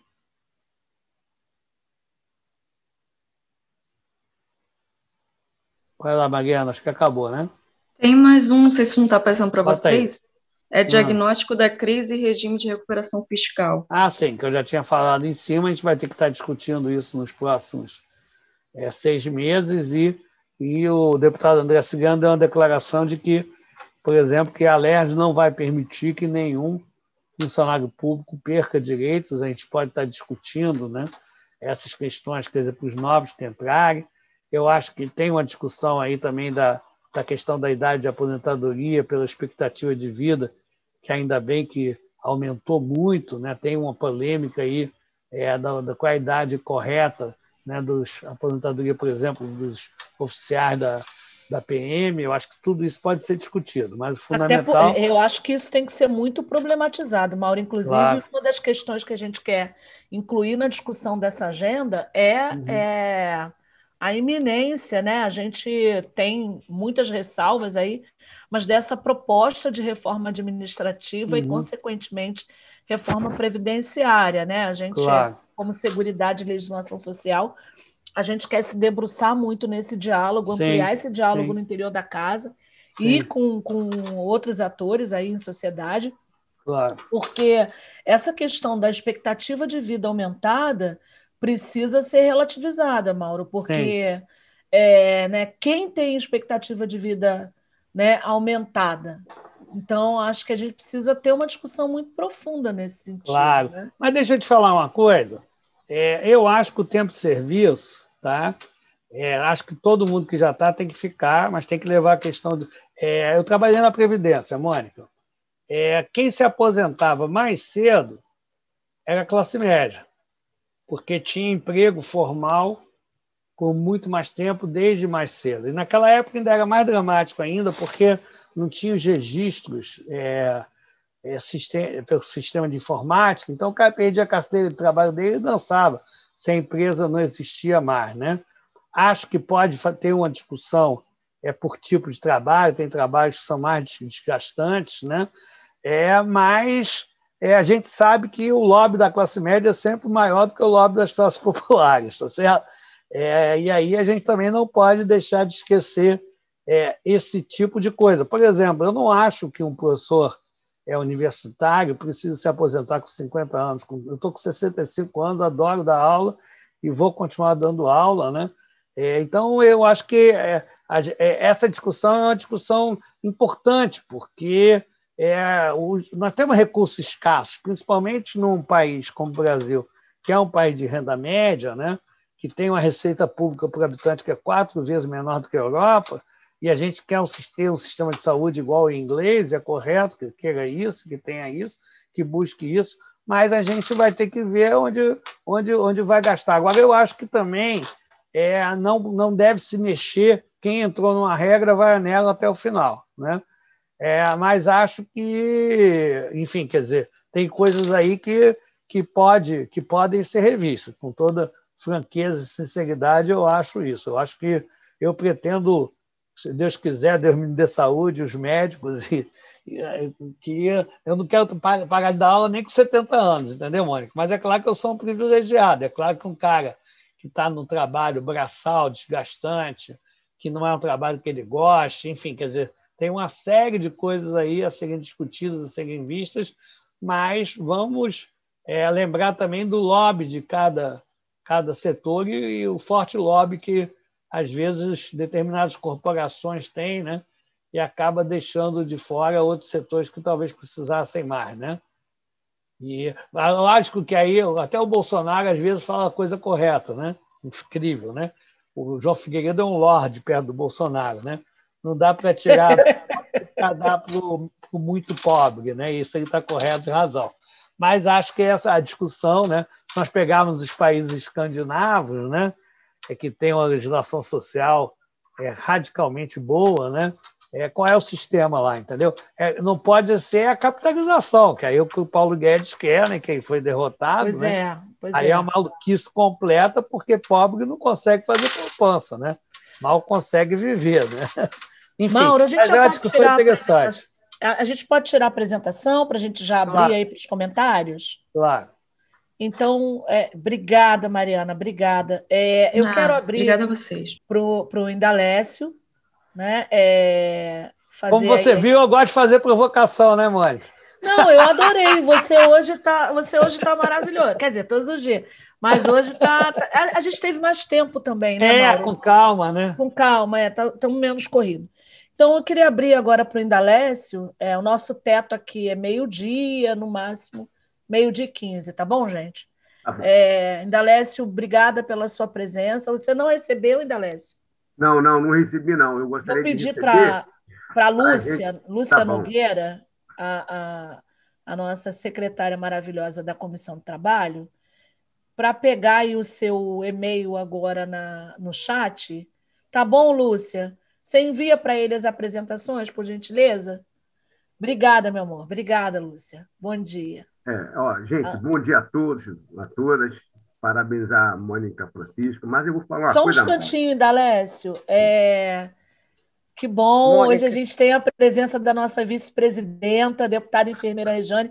Então, você me permite, Dalécio, eu vou passar a palavra para ela é... e depois eu volto com você, tá bom, querido? Rejane, muito bom ter você aqui, nossa vice-presidenta da Comissão Trabalho e tem um, um, trabalho incansável em defesa dos servidores e servidoras da saúde, sobretudo, muito falada aqui a, a questão da saúde, né? Pelo Mauro Osório, assim. É, e no Rio de Janeiro, em vias de reforma administrativa, reforma previdenciária, a gente vai ter muita briga aí, muita discussão. É importante ter a Rejane aqui com a experiência que ela tem enquanto parlamentar né, aí no terceiro mandato, e enquanto profissional da saúde também, e sindicalista. Né? Então, é importante ter essa contribuição da deputada enfermeira Rejane. Obrigada, Rejane. Bom dia. Mônica, bom dia. Bom dia, presidenta. Bom dia a todos os convidados, Mário Osório. Bom dia. Todos os que estão aqui presentes. É, eu queria primeiro informar que a gente, com essa situação, a gente acaba participando é, Mônica, de várias reuniões ao mesmo tempo, né? Eu também tô, é, eu estava falando aqui que a física hoje em dia está é, tá sendo modificada, porque a gente consegue estar em dois locais ao mesmo tempo, né? Então, eu estava na Comissão de Direitos Humanos com a Dani, discutindo a questão lá da, do Jacarezinho, mas também a importância de estar aqui, né, com, com camaradas que a gente já conhece de longa data, como o Indalés, e eu agradeço a, a gentileza, né, do Indalés, que já estava falando, e da oportunidade da gente falar, porque sabe dessa dessa questão da gente lá e cá, mas assim, primeiro dizer da importância, né, desse debate, como a Mônica está falando aqui. Eu vim do movimento sindical, a gente defende os trabalhadores, mas a gente está vendo, Osório, muita coisa que a gente precisa atuar com mais força, né? O desaparelhamento dos sindicatos, né? a, a questão do, da lei do piso salarial que não vem aqui para casa, as pessoas estão aí desesperadas porque não tiveram reajuste salarial, enfim, no momento da pandemia que, que deixa as pessoas muito mais aflitas, porque é o momento que mais precisam, né? Que a população mais precisa, que os trabalhadores mais precisam, a gente vê tanta política de desrespeito a essa, a essa classe que que constrói o país, né? Constrói o país. Então, retirada de direitos, como a Mônica falou aqui, e a gente aqui na LERJ precisa cada vez mais intensificar essa nossa essa nossa luta. Eu eu hoje, não sei se hoje, mas eu estou perdendo a minha paciência, sabe? A gente está perdendo a paciência com a questão do diálogo, do, da questão do, do da, de, de, de, de, de ir para esse processo somente com intervenções, né, achando que a gente vai conseguir mudar alguma coisa. Eu acho que a gente, né, dessa forma, a gente não consegue mudar. Eu acho que a gente precisa ser um pouco mais radical, eu acho que a gente precisa enfrentar, né? Dia 19 está aí, a gente precisa mostrar a rua, a rua. A rua é a forma da, da população mostrar que não está satisfeita, que o, a política está ruim, que as pessoas estão empobrecendo, que as pessoas estão adoecendo, que as pessoas estão morrendo, e que a gente precisa voltar a ter um país soberano, um país que comanda as suas atitudes. Nós não queríamos vender o nosso patrimônio, não queremos vender o nosso patrimônio. E eu tenho certeza que isso é a vontade da maioria da população, que infelizmente não está tendo a oportunidade né, de dizer na rua, porque todo mundo está com medo, óbvio, mas eu acho que a gente, por isso mesmo, a gente quer a vacina para todo mundo, que é para a gente poder exercer a nossa cidadania. Então, Mônica, parabéns por esse debate, ele é fundamental. Eu me lembro aqui, alguns mandatos atrás, a gente debatia a questão do, do reajuste, da inclusão de categorias na lei do piso, e agora a gente está né, tá aí. O governador Witzel, naquele momento, achou que não deveria é, negociar com os sindicatos, né, nem fortalecer a, a, a mesa, né, a, a negociação. E agora a gente tem uma legislação que está aí, rolando para lá e para cá, favorecem, vem a pauta, mas eu duvido que seja cumprida com esse governo que a gente tem, né? que é um governo genocida, é um governo de tirar direitos. Então, parabéns, Mônica, e vamos continuar aqui com você. Né? Eu só vou fechar aqui a minha câmera, mas vou continuar aqui escutando as pessoas e acumulando, né, para que a gente possa nos fortalecer esse processo por enfrentamento. E com certeza vai, não sei se só, só, só vai se dar nas urnas, não, sabe? esse enfrentamento, a gente precisa ser mais radical. Um abraço, Mônica. Obrigada. Obrigada, Rejane. Você traz uma nota assim é, mais acima até né, dos problemas que acho que o Mauro, na frase que ele, ele falou, acabou que passou tão rápido, eu ia anotar, mas ele falou muito rápido, né? É, se, você, se você tem é, a possibilidade de garantir né, uma vida digna, você tem menos violência. Né? Eu, eu, eu, se você puder depois repetir a frase. A, né? a, fra, a, frase é a seguinte: quer dizer, quanto mais desigual uma metrópole, mais Isso. violenta. Quanto mais igualitária, mais inovadora. Então, é, é, a gente precisa que a classe trabalhadora esteja viva primeiro para a gente ter desenvolvimento econômico, né? Inclusive que tenha trabalho, né? Que tenha trabalho, que, que esteja viva e que tenha trabalho. Porque senão não tem sociedade. Então, é, realmente a gente vai precisar radicalizar mesmo.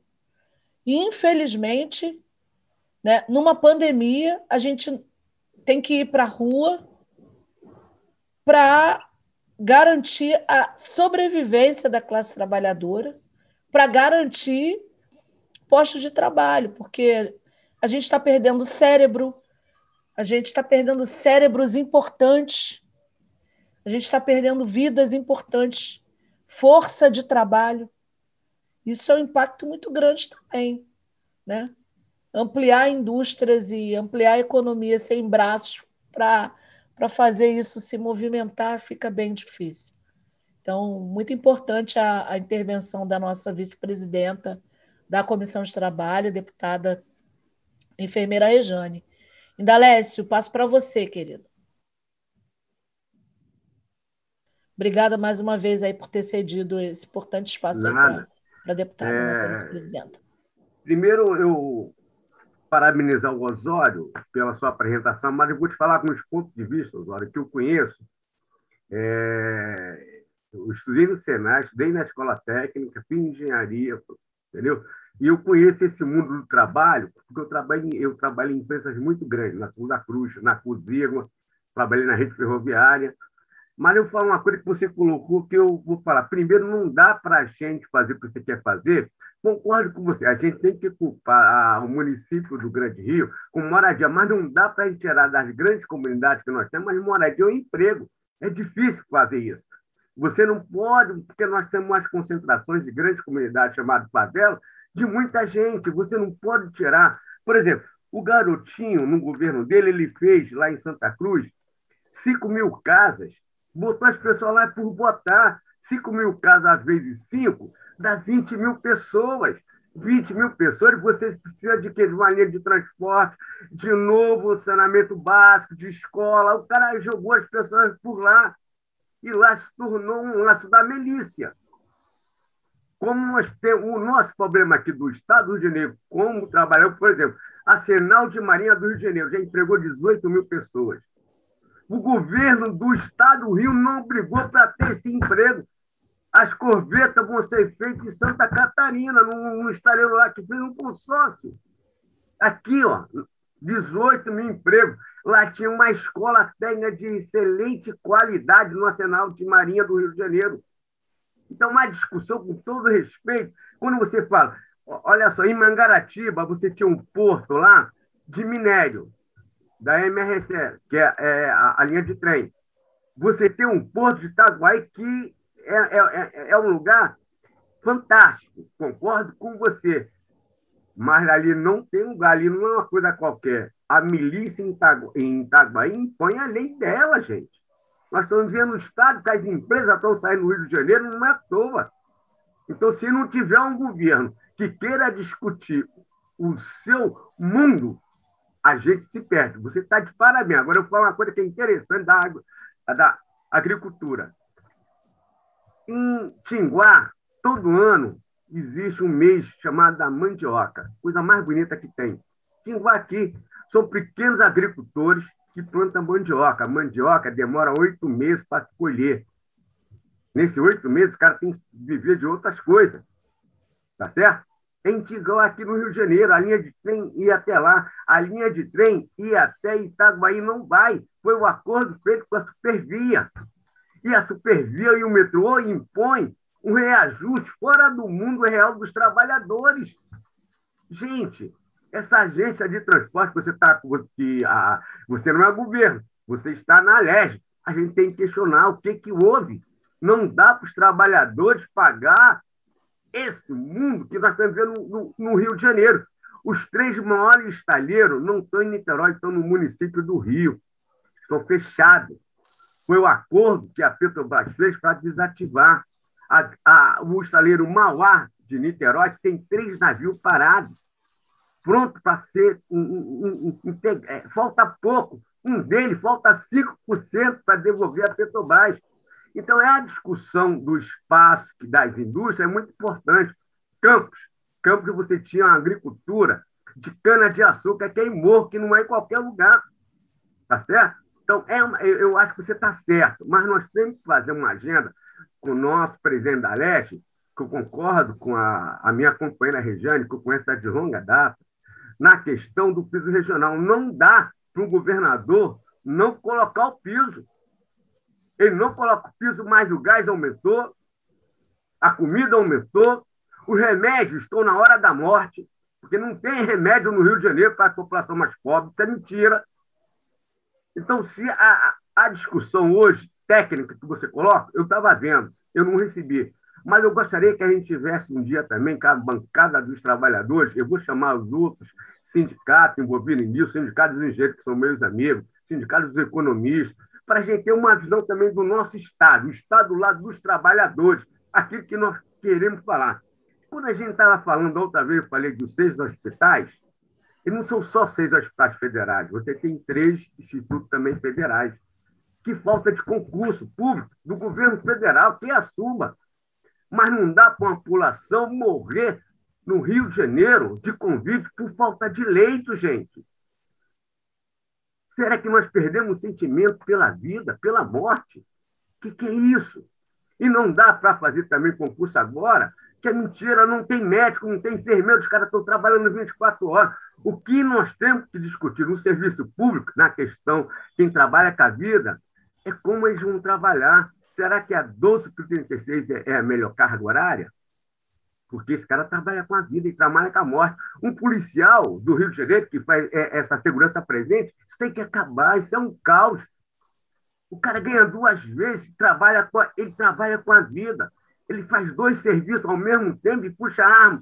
Qualquer cidadão ele entra numa comunidade como a, a questão do jacaré, não é fácil, a questão do jacaré não é só jacaré.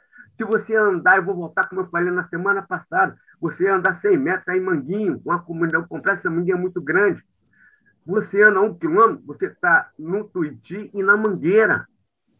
São complexos que envolvem muita família, muito emprego formal. E, além de mais, eu quero colocar algum ponto. Mônica, eu estava assistindo, eu quero até receber com prazer esses documentos. Eu vou encabeçar um grupo de trabalho, que, junto com o nosso economista Mauro Osório, eu quero te agradecer mais, eu vou falar um ponto de vista. O Rio de Janeiro ele está precisando de ter um secretário, um governador que lute pelo nosso Estado. Infelizmente, esse governo não está aí, eu concordo com a Regina, é o pior possível. Ele não trata com seriedade a questão dos milicianos. Os milicianos envolvem tirar emprego formal das categorias. Os milicianos envolvem com a questão da van. Os milicianos envolvem com a questão do, da internet, da gatonete, com tudo. E eles fazem uma disputa com os outros grupos. Todos eles têm que ser presos. O comando vermelho, o terceiro comando, que foi tudo é bandido. Mas os milicianos são pagos pelo salário do povo, são policiais. Eles ganham duas vezes. Isso envolve na economia do Estado. As pessoas não saem do Rio de Janeiro porque quer. Eu conversei com o presidente da Federação dos Químicos do Rio de Janeiro, o Aurélio, ele estava falando aquilo que você falou, é, ele tem vamos conversar aqui. Eu já coloquei numa, numa fase, numa reunião de trabalho, no CETES, sobre isso. A Fijan, ela tem que se envolver num grupo de trabalho onde defenda as empresas do Rio. Não somos nós trabalhadores, nós queremos emprego mas ela tem que fazer uma, um, um, pacto com o INCAR, com, com, o Estado, de defender suas empresas. O cara não pode roubar cabo de internet, porque senão os trabalhadores e as trabalhadoras que moram em comunidade são obrigados a comprar gatonete, não tem jeito, fica sem nada. Então, isso é uma política, às vezes, é, que nós temos que trabalhar de geração de emprego e renda para o Estado. Eu vou encerrar falando duas coisas. Eu, eu conheço o Rio, eu tenho andado. Se você for de noite no centro da cidade, dá até pena as pessoas dormindo na marquise. As pessoas hoje elas querem uma quentinha para comer de noite. Elas querem uma quentinha. Quando você vai aqui no, em Manguinhos, o governo do estado, a omissão do governo e do município fez que aquelas casas que estavam em Manguinhos, perto da estação, que era que tirada, o estado pagou. Quem paga é o estado, é o povo. Realmente, embaixo da estação, que seria uma coisa maravilhosa, que para fazer cultura, fazer a cidadania das pessoas já foi invadida, o governo não faz nada. Tanto o município do Rio é a mesma política. Então, se nós não tivermos uma política ideal do cidadão carioca, é, Mônica, eu também com 65 anos eu não vou sair do, do Rio de Janeiro, eu vou ficar aqui, eu vou morrer aqui. E eu não sou carioca com seis anos, mas eu conheço o Rio e eu conheço a, a, essa indústria do petróleo e gás, a indústria naval, ela é, é, é, é, é você está falando muito, muito bem sobre isso. Tem uma indústria que não depende da gente, depende do governo federal. A indústria Vou só te pedir para finalizar, Indalécio, tá, tá que eu vou passar para o Yamagato tá. e depois eu devolvo para o tá, Mauro. Um minuto, só um, um minutinho. Então, são Por favor. Vezes, tá, são indústrias que dependem, às vezes, do incentivo do governo federal. Eu acho que nós temos que fazer uma pauta, o que é do governo do Estado, o governo federal, o que é de incentivo fiscais também. Desculpa, Mônica, obrigado. Não, meu querido, não, não precisa desculpar, não. É, é só para a gente não, depois não correr com o Mauro igual da última vez. Depois ele briga comigo. Eu quero passar, antes de passar para o Yamagata, Dani Nunes, que é da nossa assessoria de gênero, e é da Zona Oeste, é, é do esporte. E é importante que as nossas equipes, né, a gente tenha a, a, essa dinâmica da centralidade dessa pauta, porque ela impacta e a gente está discutindo é, com a equipe de gênero a, a, questão do orçamento né, da, da LDO, e daqui a pouco a gente vai estar discutindo a LOA. Emanuel, que é o nosso economista que está aqui, né? Emanuel de Salles. A gente vem fazendo essa discussão e vamos ter uma plenária amanhã, inclusive, para discutir o orçamento é, no âmbito da pauta da política para as mulheres. Né? E a Dani tem uma, uma, uma discussão a partir da Zona Oeste e é, dos esportes. Eu quero saber se a Dani está aí já Tô aqui, Mônica. Só não vou abrir a câmera. Não, tudo bem, eu, tranquilo. Eu tô com a minha rinite atacada. E aí eu não quero ser eternizada para falar sobre esporte, né? Feia. Mas agradecer por esse convite, né? E dizer que nós recebemos três grandes eventos esportivos no, no Rio de Janeiro, começando com os Jogos Pan-Americanos e Para-Pan-Americanos, Recebemos também a Copa do Mundo em 2014, Jogos Pan-Americanos foi em 2007, e por último recebemos as Olimpíadas e as Paralimpíadas em 2016. E o que eu sempre pergunto, né, é cadê o legado? Grandes, é, grandes eventos deixam legado para a sociedade, para é, o seu entorno, e o único legado que ficou foi a corrupção. Então, por isso que eu falo que a gente precisa resgatar o legado moral desses grandes eventos. A gente sabe da dificuldade é, de esportes que não tem tanta projeção quanto o futebol masculino. Então, a gente precisa, como o Mauro mesmo falou, né, da relação de, de ociosidade e violência com a juventude, pensar né, em utilizar esses espaços para estar tá fomentando atividades é, é, que duram é, o dia, né, para que essas crianças pensem em futuro, né, como é o título dessa audiência, trazendo aqui é, um projeto que existe, que gera é, saldo positivo na nossa, é, na nossa sociedade, são os GELs, os ginásios experimentais olímpicos, que são escolas de, do ensino fundamental com período integral, onde é, são estruturas né, que, têm vilas olímpicas e que tem escola dentro. É, e essas crianças elas podem estar é, tá escolhendo duas atividades esportivas, podem também estar tá escolhendo teatro, cultura, e também tem a possibilidade de praticar esportes não convencionais, como a prática do xadrez, né? que muitas crianças e adolescentes têm problemas com o seu corpo e, e lá tem essa possibilidade também. Então, assistindo essa audiência, quando o Mauro fala sobre a importância da cultura do esporte, é, me veio na memória a importância da gente cobrar e exigir legado moral desses grandes eventos, até para que surja oportunidades de emprego, renda e trabalho. Obrigada, Mônica. Obrigada a todos e todas.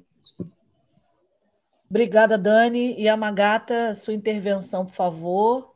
E em seguida, Mauro, já passo para você, tá? Se quer acabar de falar. Tá.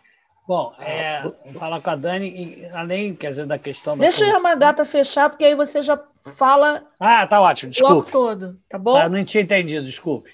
É, aí assim que a Magata terminar, você já intervém.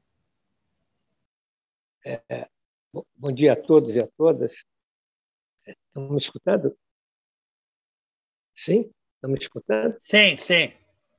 É, bom dia a todos e a todas. É, eu já conheço Mauro Osório de várias outras palestras, ele fez várias palestras lá para nós, na representação regional leste fluminense, onde Caetano é o nosso presidente da nossa regional.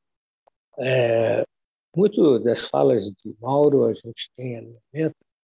É, um deles, é uma questão que a gente tem ainda uma pendência né, de alinhamento é sobre os incentivos fiscais. O que a Pirjan e a indústria ela tem uma de segurança jurídica, e feito um plano para fazer um incentivo fiscal e essas empresas se instalam por causa dos incentivos fiscais, existe uma guerra entre os estados. Né? Então, eu digo assim, a indústria automobilística, se a gente não fizesse ah, ah, o incentivo fiscal, a gente não teria aqui a Peugeot, nem teria a, a Jaguar, né? nem teria a Nissan aqui. É, eu acho que hoje o sul fluminense não teria também a Hyundai, a Arno, que são todos aqui é, no sul fluminense. Então, é, agora a gente é contra e realmente precisa ser revisto os incentivos fiscais que foram feitos de uma forma pouco republicana, então que nada agrega de valor né, ao Estado. Mas eu, com certeza, Sul Fluminense vive uma fase melhor do que as demais é, outras regiões, porque ela conseguiu introduzir uma série de empresas que fizeram uma cadeia produtiva muito mais adequada. Né? Então, a ampliação da própria CSN, Itaguaí é outro grande polo, que a gente acha que, é, para que deixa, é, haja segurança jurídica, é, importante que a gente mantenha as regras do jogo e, e faça a revisão, até porque a Assembleia Legislativa tem acaba ah, também de ser um coautor desse tipo de incentivo fiscal. Então, é, é, esse, esse é um dado que a indústria recente da insegurança jurídica que é, acaba acontecendo. Empresas que estão fazendo as coisas direito, é, a, gente, a gente não consegue é, explicar para eles a situação. Normalmente, essas empresas são multinacionais. Então, isso é uma coisa complicada que a gente precisa ter um novo realinhamento, a meu ver. Um outro caso, assim, quando eu falei da energia elétrica e da, e da alta da gasolina, né? a gente tem o problema do galeão. O galeão a gente perdeu, é um, é um hub muito importante, mas a gente perdeu os voos, porque o, a, o querosene é o mais caro. Então, a gente tem que rever isso com cuidado, porque isso, ao ser feito e não tendo retroatividade mais, a gente vai perdendo. E retomar o galeão agora, para fazer ele gerar emprego e renda, como você mesmo sabe nos seus estudos, porto, aeroporto, isso gera uma economia, faz gerar emprego e renda, a gente é, fez é, e está arcando com a consequência agora, né, irmão? Isso não foi, é, isso foi uma determinação de governo. Né? Então a gente hoje está é, tá pagando um preço por essas atitudes que talvez, você bem fala, de não ter planejamento. Foi feito assim, talvez na emoção. Né? Então, o que eu, eu acho, e eu, eu acho que é o pior deles, é a nossa corrupção. É, se é, nós tivéssemos uma razoabilidade, a gente certamente teria muita verba para educação, saúde, planejamento, pesquisa, inovação, mas a gente tem uma doença complicada. Nós temos vários governadores presos. Então, o estado do Rio de Janeiro está pagando esse preço. Então, é um assunto complexo, como essa a pessoa que me antecedeu falou, a corrupção é um problema sério na nossa raiz. E aí eu termino a minha fala porque acho que a gente está pagando um preço muito caro por essas coisas e que a gente não tem punição. É, as pessoas fazem, são presas, mas isso acho que não é o suficiente. Que a, a doença continua. Né? Então, algo tem que ser feito mais radical. Esse é o meu pensamento. Obrigado, Simônica. Obrigada, Yamagata. Mauro, por favor, para você fechar aí a nossa audiência, fazendo o retorno aí a partir das intervenções. Emanuel, você quer falar alguma coisa? Eu vi você aí meio nervoso. Você não pode ver o Mauro Osório e o Bruno Sobral, que você já fica nervoso. Tudo Maurete. Então... Tudo Maurete e Brunete. É. pois é, né? Eu estava justamente querendo é, tratar sobre alguns pontos né, que o Mauro falou, a importância da gente trabalhar com alguns dados, né, a importância da gente realizar uma matriz insumo-produto. É, eu queria também complementar que, pela comissão de trabalho, a gente também tem feito um estudo que é um, um aproximador né, do que seria a importância da matriz insumo-produto a partir da construção da complexidade econômica do Estado. Né? A complexidade econômica é, é basicamente uma ferramenta que se usa, é, né, foi inventado por, é, por um estudiosos da, né, de Harvard, mas é utilizado com ampla. É, desculpa que está caindo aqui.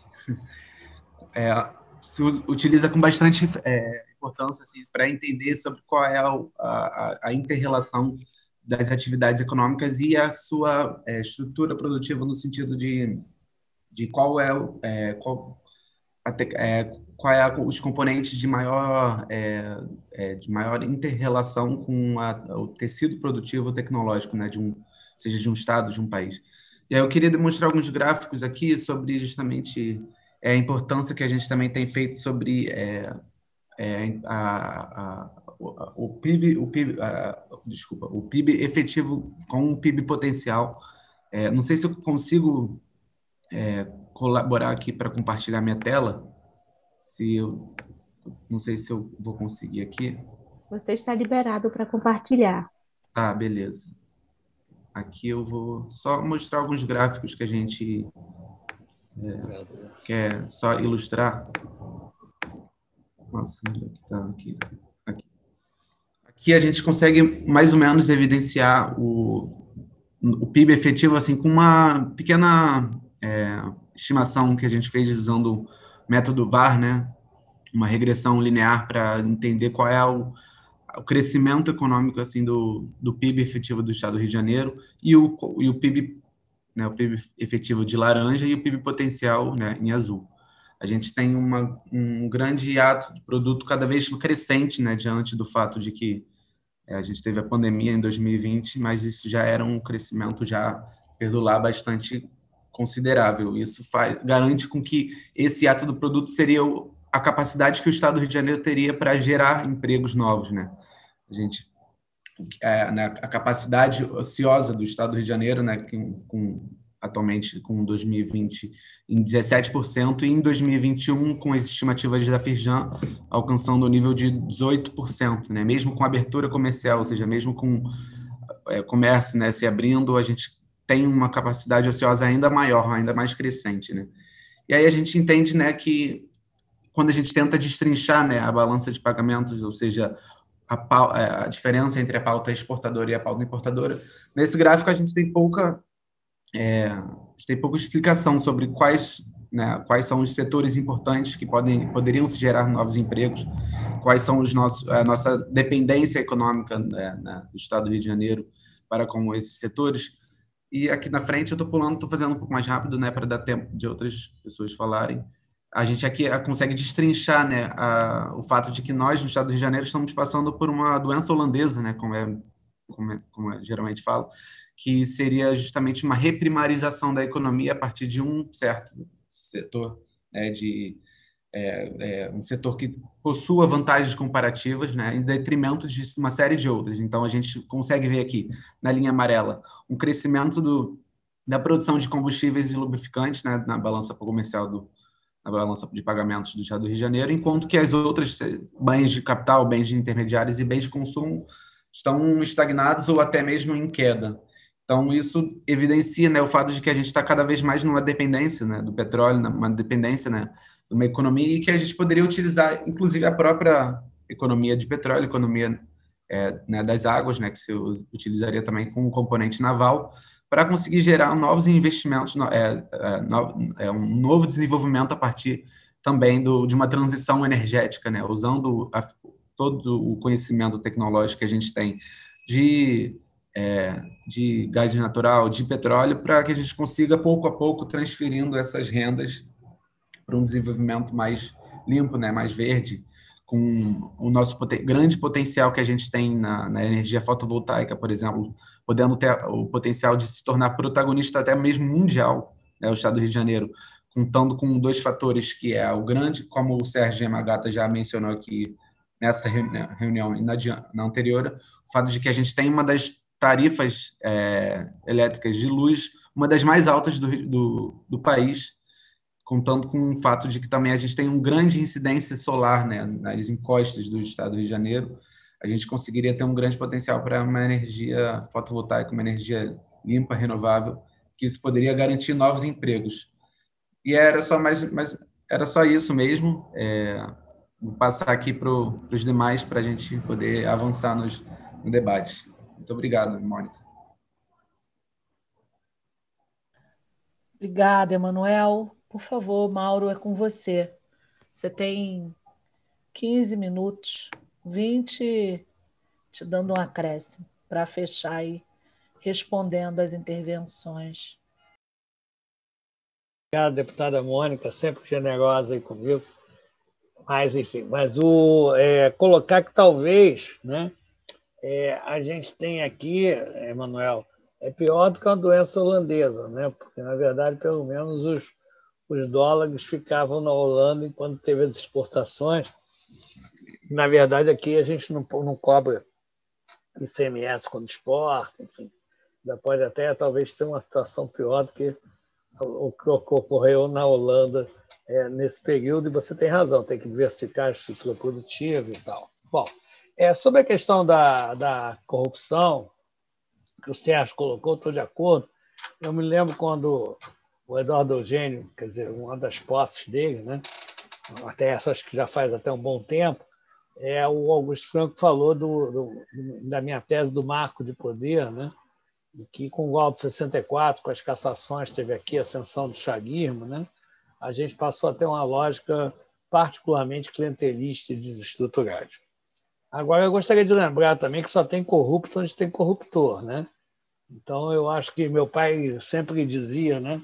Uma expressão macaco olha o seu rabo, né? então a gente tem que procurar estar é, tá olhando aí qual é a responsabilidade de cada um, de cada entidade, é, em toda essa discussão e a gente enfrentar essa discussão, enfrentar com transparência, enfrentar com democracia, enfrentar com direito de defesa, né?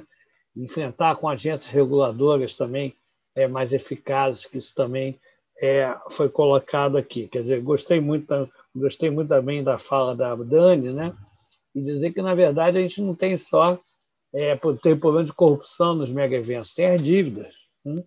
Ou seja, dívidas, inclusive, que têm que ser pagas. A dívida da prefeitura do Rio de Janeiro ela foi feita basicamente com os mega eventos. Tem cidades, inclusive, ricas, com, com a riqueza por habitante muito maior que a nossa, tem que ser acusada a fazer é, a Olimpíada exatamente por causa dos gastos. E aí me lembro das manifestações de 2013, né, as pessoas falando de padrão FIFA, né, Mônica? É, e aí o equívoco absurdo, porque a gente viu o que é a FIFA, né? E também é a, achar que tudo se resolve só no combate à corrupção também é um equívoco. Nós temos uma receita pública por habitante que é várias vezes menor né, do que dos países da Europa. Então a gente tem que ser pobre, porém limpinho, e tem que procurar criar uma estrutura produtiva como tem em Santa Catarina. Acho que todos nós temos que nos mirar é no exemplo de Santa Catarina e, e de outras regiões também, no sentido de procurar ter essa estrutura produtiva é, integrada. Né?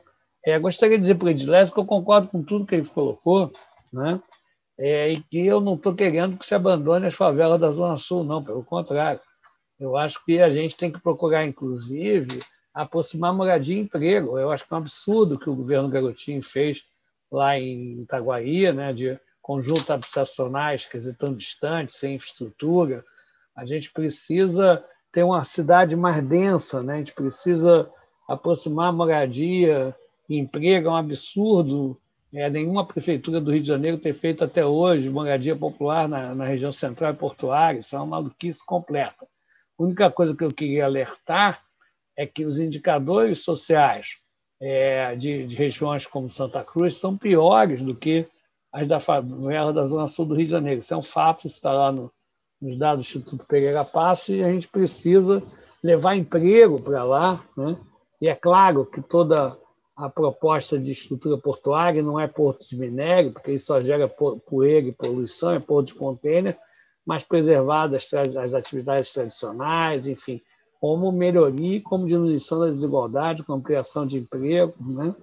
É, enfim, então é isso. Eu acho que é, é uma discussão sistêmica em que a gente procure resolver essa dramaticidade é, da situação é, de 700 mil empregos e, e também enfrentar, né, é toda uma cultura, quer dizer, política no Rio, que eu acho que é, vem de toda uma história do Rio de Janeiro e que ganha hegemonia a partir do Chagas. Eu acho que hoje a gente tem uma janela de oportunidade, a está promovendo isso, o presidente André Ciliano, a gente fazer esse debate. A gente tem uma ruptura com esse marco de poder que vai criando uma cultura muito complicada. Né? É, eu tenho parentes policiais, inclusive é, com luta, policiais antifascistas, de, de, luta, viu, Mônica, disso, né? É, e que às vezes aí serviam, sofriam perseguições. Aí, uma vez, uma, uma, uma policial ela é, tentou ir lá para a corregedoria, né? É, para poder. É, porque lá tem, tem vai faz um trabalho que é um trabalho complicado, numa cidade com milícias, mas tem estabilidade. Mas não pôde ir para lá porque já tinha gente demais lá. Quer dizer, então aparentemente a, a, a Corregedoria de Polícia Civil, que estava exemplo, estava inchada. Né? Ou fatos como policiais que trabalham no interior, que só trabalham de 15 em 15 dias. Então, quer dizer, é, essa, essa cultura e essa crise do Rio de Janeiro, Mônica, ela tem várias especificidades, vários aspectos, e a gente tem que ter coragem de estar enfrentando todos eles e ver como é que começa. Quer dizer, quem diz que hoje a situação e a questão do Rio é civilização versus barbárie, quer dizer, não está exagerando, tá certo? Quer dizer, eu acho que é disso mesmo que se trata. A gente tem uma crise que é uma crise profunda, a gente tem que superá-la com mais debate, com mais democracia. Os incentivos fiscais, eles são importantes, eles são fundamentais, né? É, eles, é, mas não pode ser um samba de uma nota só, né?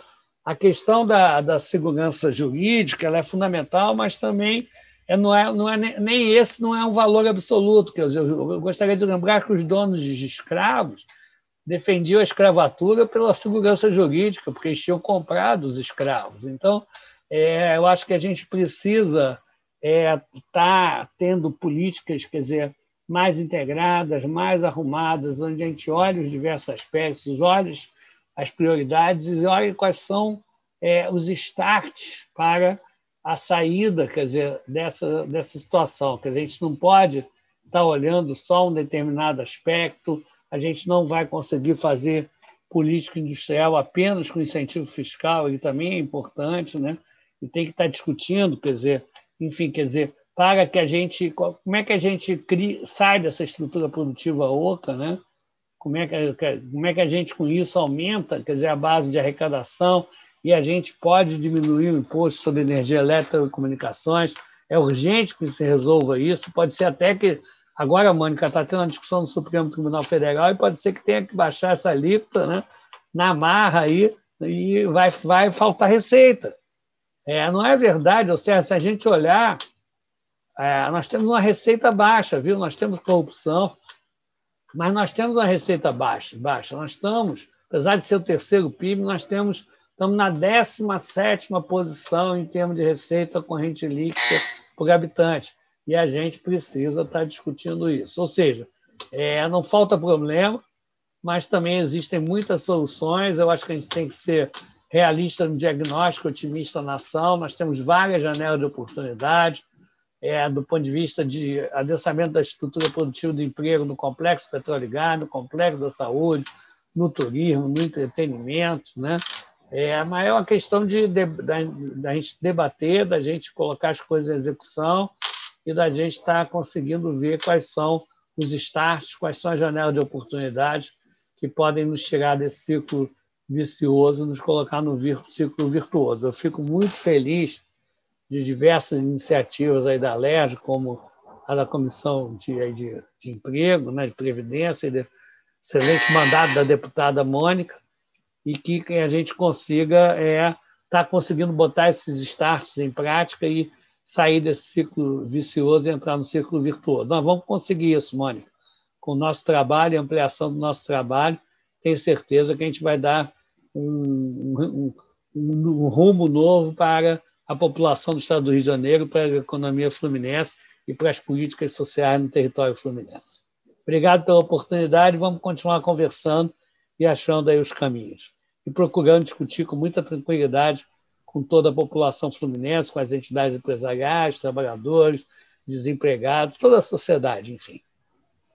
Mauro, eu quero te agradecer imensamente. A gente vai organizar né, essas propostas que você fez inicialmente, né, propostas de provocação, né, é, várias provocações aqui, feitas por você e pela sua apresentação, nos instigam muito a pensar né, pontos que o nosso economista da Comissão do Trabalho, né, lá da nossa mandata, o Emanuel, né, vem é, discutindo também a questão dos dados como fundamental. A gente vive uma crise, não na produção de dados, mas no fomento a essa produção. Né? Você coloca o caso é, de Santa Catarina e você chama a atenção para a universidade, né? o, o quanto os centros de pesquisa, de produção de conhecimento, de produção de dados, são importantes nesse sentido. Um outro ponto também que eu lembro de uma discussão feita pelo Emanuel, muito assim que ele chega é, para a comissão do trabalho, foi sobre né, o quanto a gente perde por não termos um banco estadual. E você falou do Banrisul, né, o quanto o Banrisul também tem aí uma, um, uma parcela de importância no case de Santa Catarina né? É, e eu acho que eu colocaria como essa agenda com muita bem muita musculatura essa agenda anabolizada aí com esses atores e atrizes que estão em alguma medida já pensando ações para que a gente faça uma convergência, né? Então eu quero já deixar aqui que a gente anotou bastante, a gente com certeza na nossa relatoria a gente vai fazer essa discussão mais aprofundada no âmbito da comissão do trabalho e a gente já vai organizar essa série de agendas que sejam de discussão, mas que também concretizem. Porque falar, a gente fala muito bonito, né, gente? Todo mundo aqui fala bonito, tem muito acúmulo, né? estuda bastante, tem a, a, a, experiência, a vivência, a empiria no, no que está falando mas a gente também precisa concretizar isso, né? E a gente vem fazendo isso no âmbito da LERJ, como você ressaltou bem, produzindo legislativamente para dar capacidade ao Estado de efetivar a política pública de desenvolvimento econômico, de ampliação da possibilidade do Rio de Janeiro sair né, desse contexto tão amargo que a gente está. E a gente quer contribuir muito nesse sentido, então a gente vai organizar né? A partir do que a gente tem como norte de atuação da comissão, a partir do que a gente vem construindo com os nossos parceiros, com o CETERG, que é fundamental também para a gente fazer esse diálogo né, com as bancadas do CETERG. Importante ter né, Indalécio e a Magata aqui. Né, e a gente quer muito provocar ainda mais esse debate, viu, Sérgio e, e, e Indalécio, no âmbito do CETERG, trazer o CETERG com todo o acúmulo que o CETERG tem feito para esse diálogo e para essa construção de saídas, ampliar o debate com as bancadas é, federais. Né? Os federais precisam também estar nesse diálogo pelo Rio de Janeiro. O Sérgio falou isso na semana passada, é, lembrou bastante sobre essa dinâmica de conversa com os deputados né, e deputadas é, federais. Né? aqui do Estado, mas ampliando essa articulação para as câmaras, né?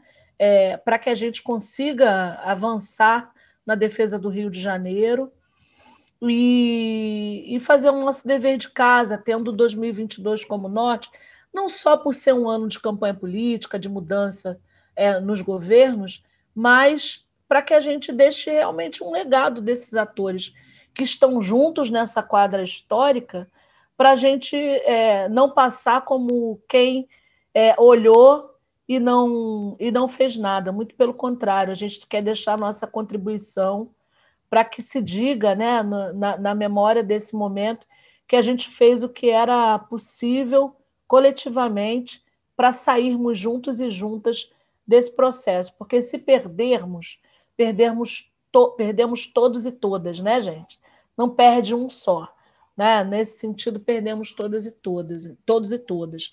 Então, eu quero agradecer imensamente a presença de vocês, o tempo de vocês, que eu sei que é extremamente precioso, para contribuir com a nossa elaboração né, e com aquilo que a gente é, se propôs a fazer com muito trabalho. A gente não foge de trabalho, a gente tem muita disposição, nossa equipe também. Então, estamos aqui à disposição também de vocês. As portas abertas da Comissão de Trabalho podem nos acionar sempre que precisarem e quiserem tá bom? Então, muito obrigada, obrigada aí às nossas assessorias, às assessorias dos deputados e deputadas que compõem a Comissão do Trabalho, a nossa vice-presidenta, a deputada enfermeira Rejane, a TV Alerj, que sempre nos acompanha, sempre né, pautando as ações da Comissão do Trabalho e da Assembleia Legislativa como um todo. Então, muito obrigada, bom dia a todos e todos. Tenhamos aí um. Obrigada, Rui sempre presente, Buana. Obrigada a todos e todas. Abraço grande, Raquel. Indalécio, bom dia. Vamos ter nossa reunião lá do piso, hein? Tá bom. O presidente deu ok. Combinado. Valeu mesmo. Obrigado, obrigado. Mônica. Obrigado, Obrigada, deputada. Queridos. Obrigado a todas e todos. Bom um dia beijo. a todos. Tchau. Obrigada à sua equipe, Mariana. Obrigada. Tchau, tchau. Tchau, obrigada a todos, gente. Bom dia. Até quinta, até a próxima. Até a próxima, querido. Obrigado. Obrigado.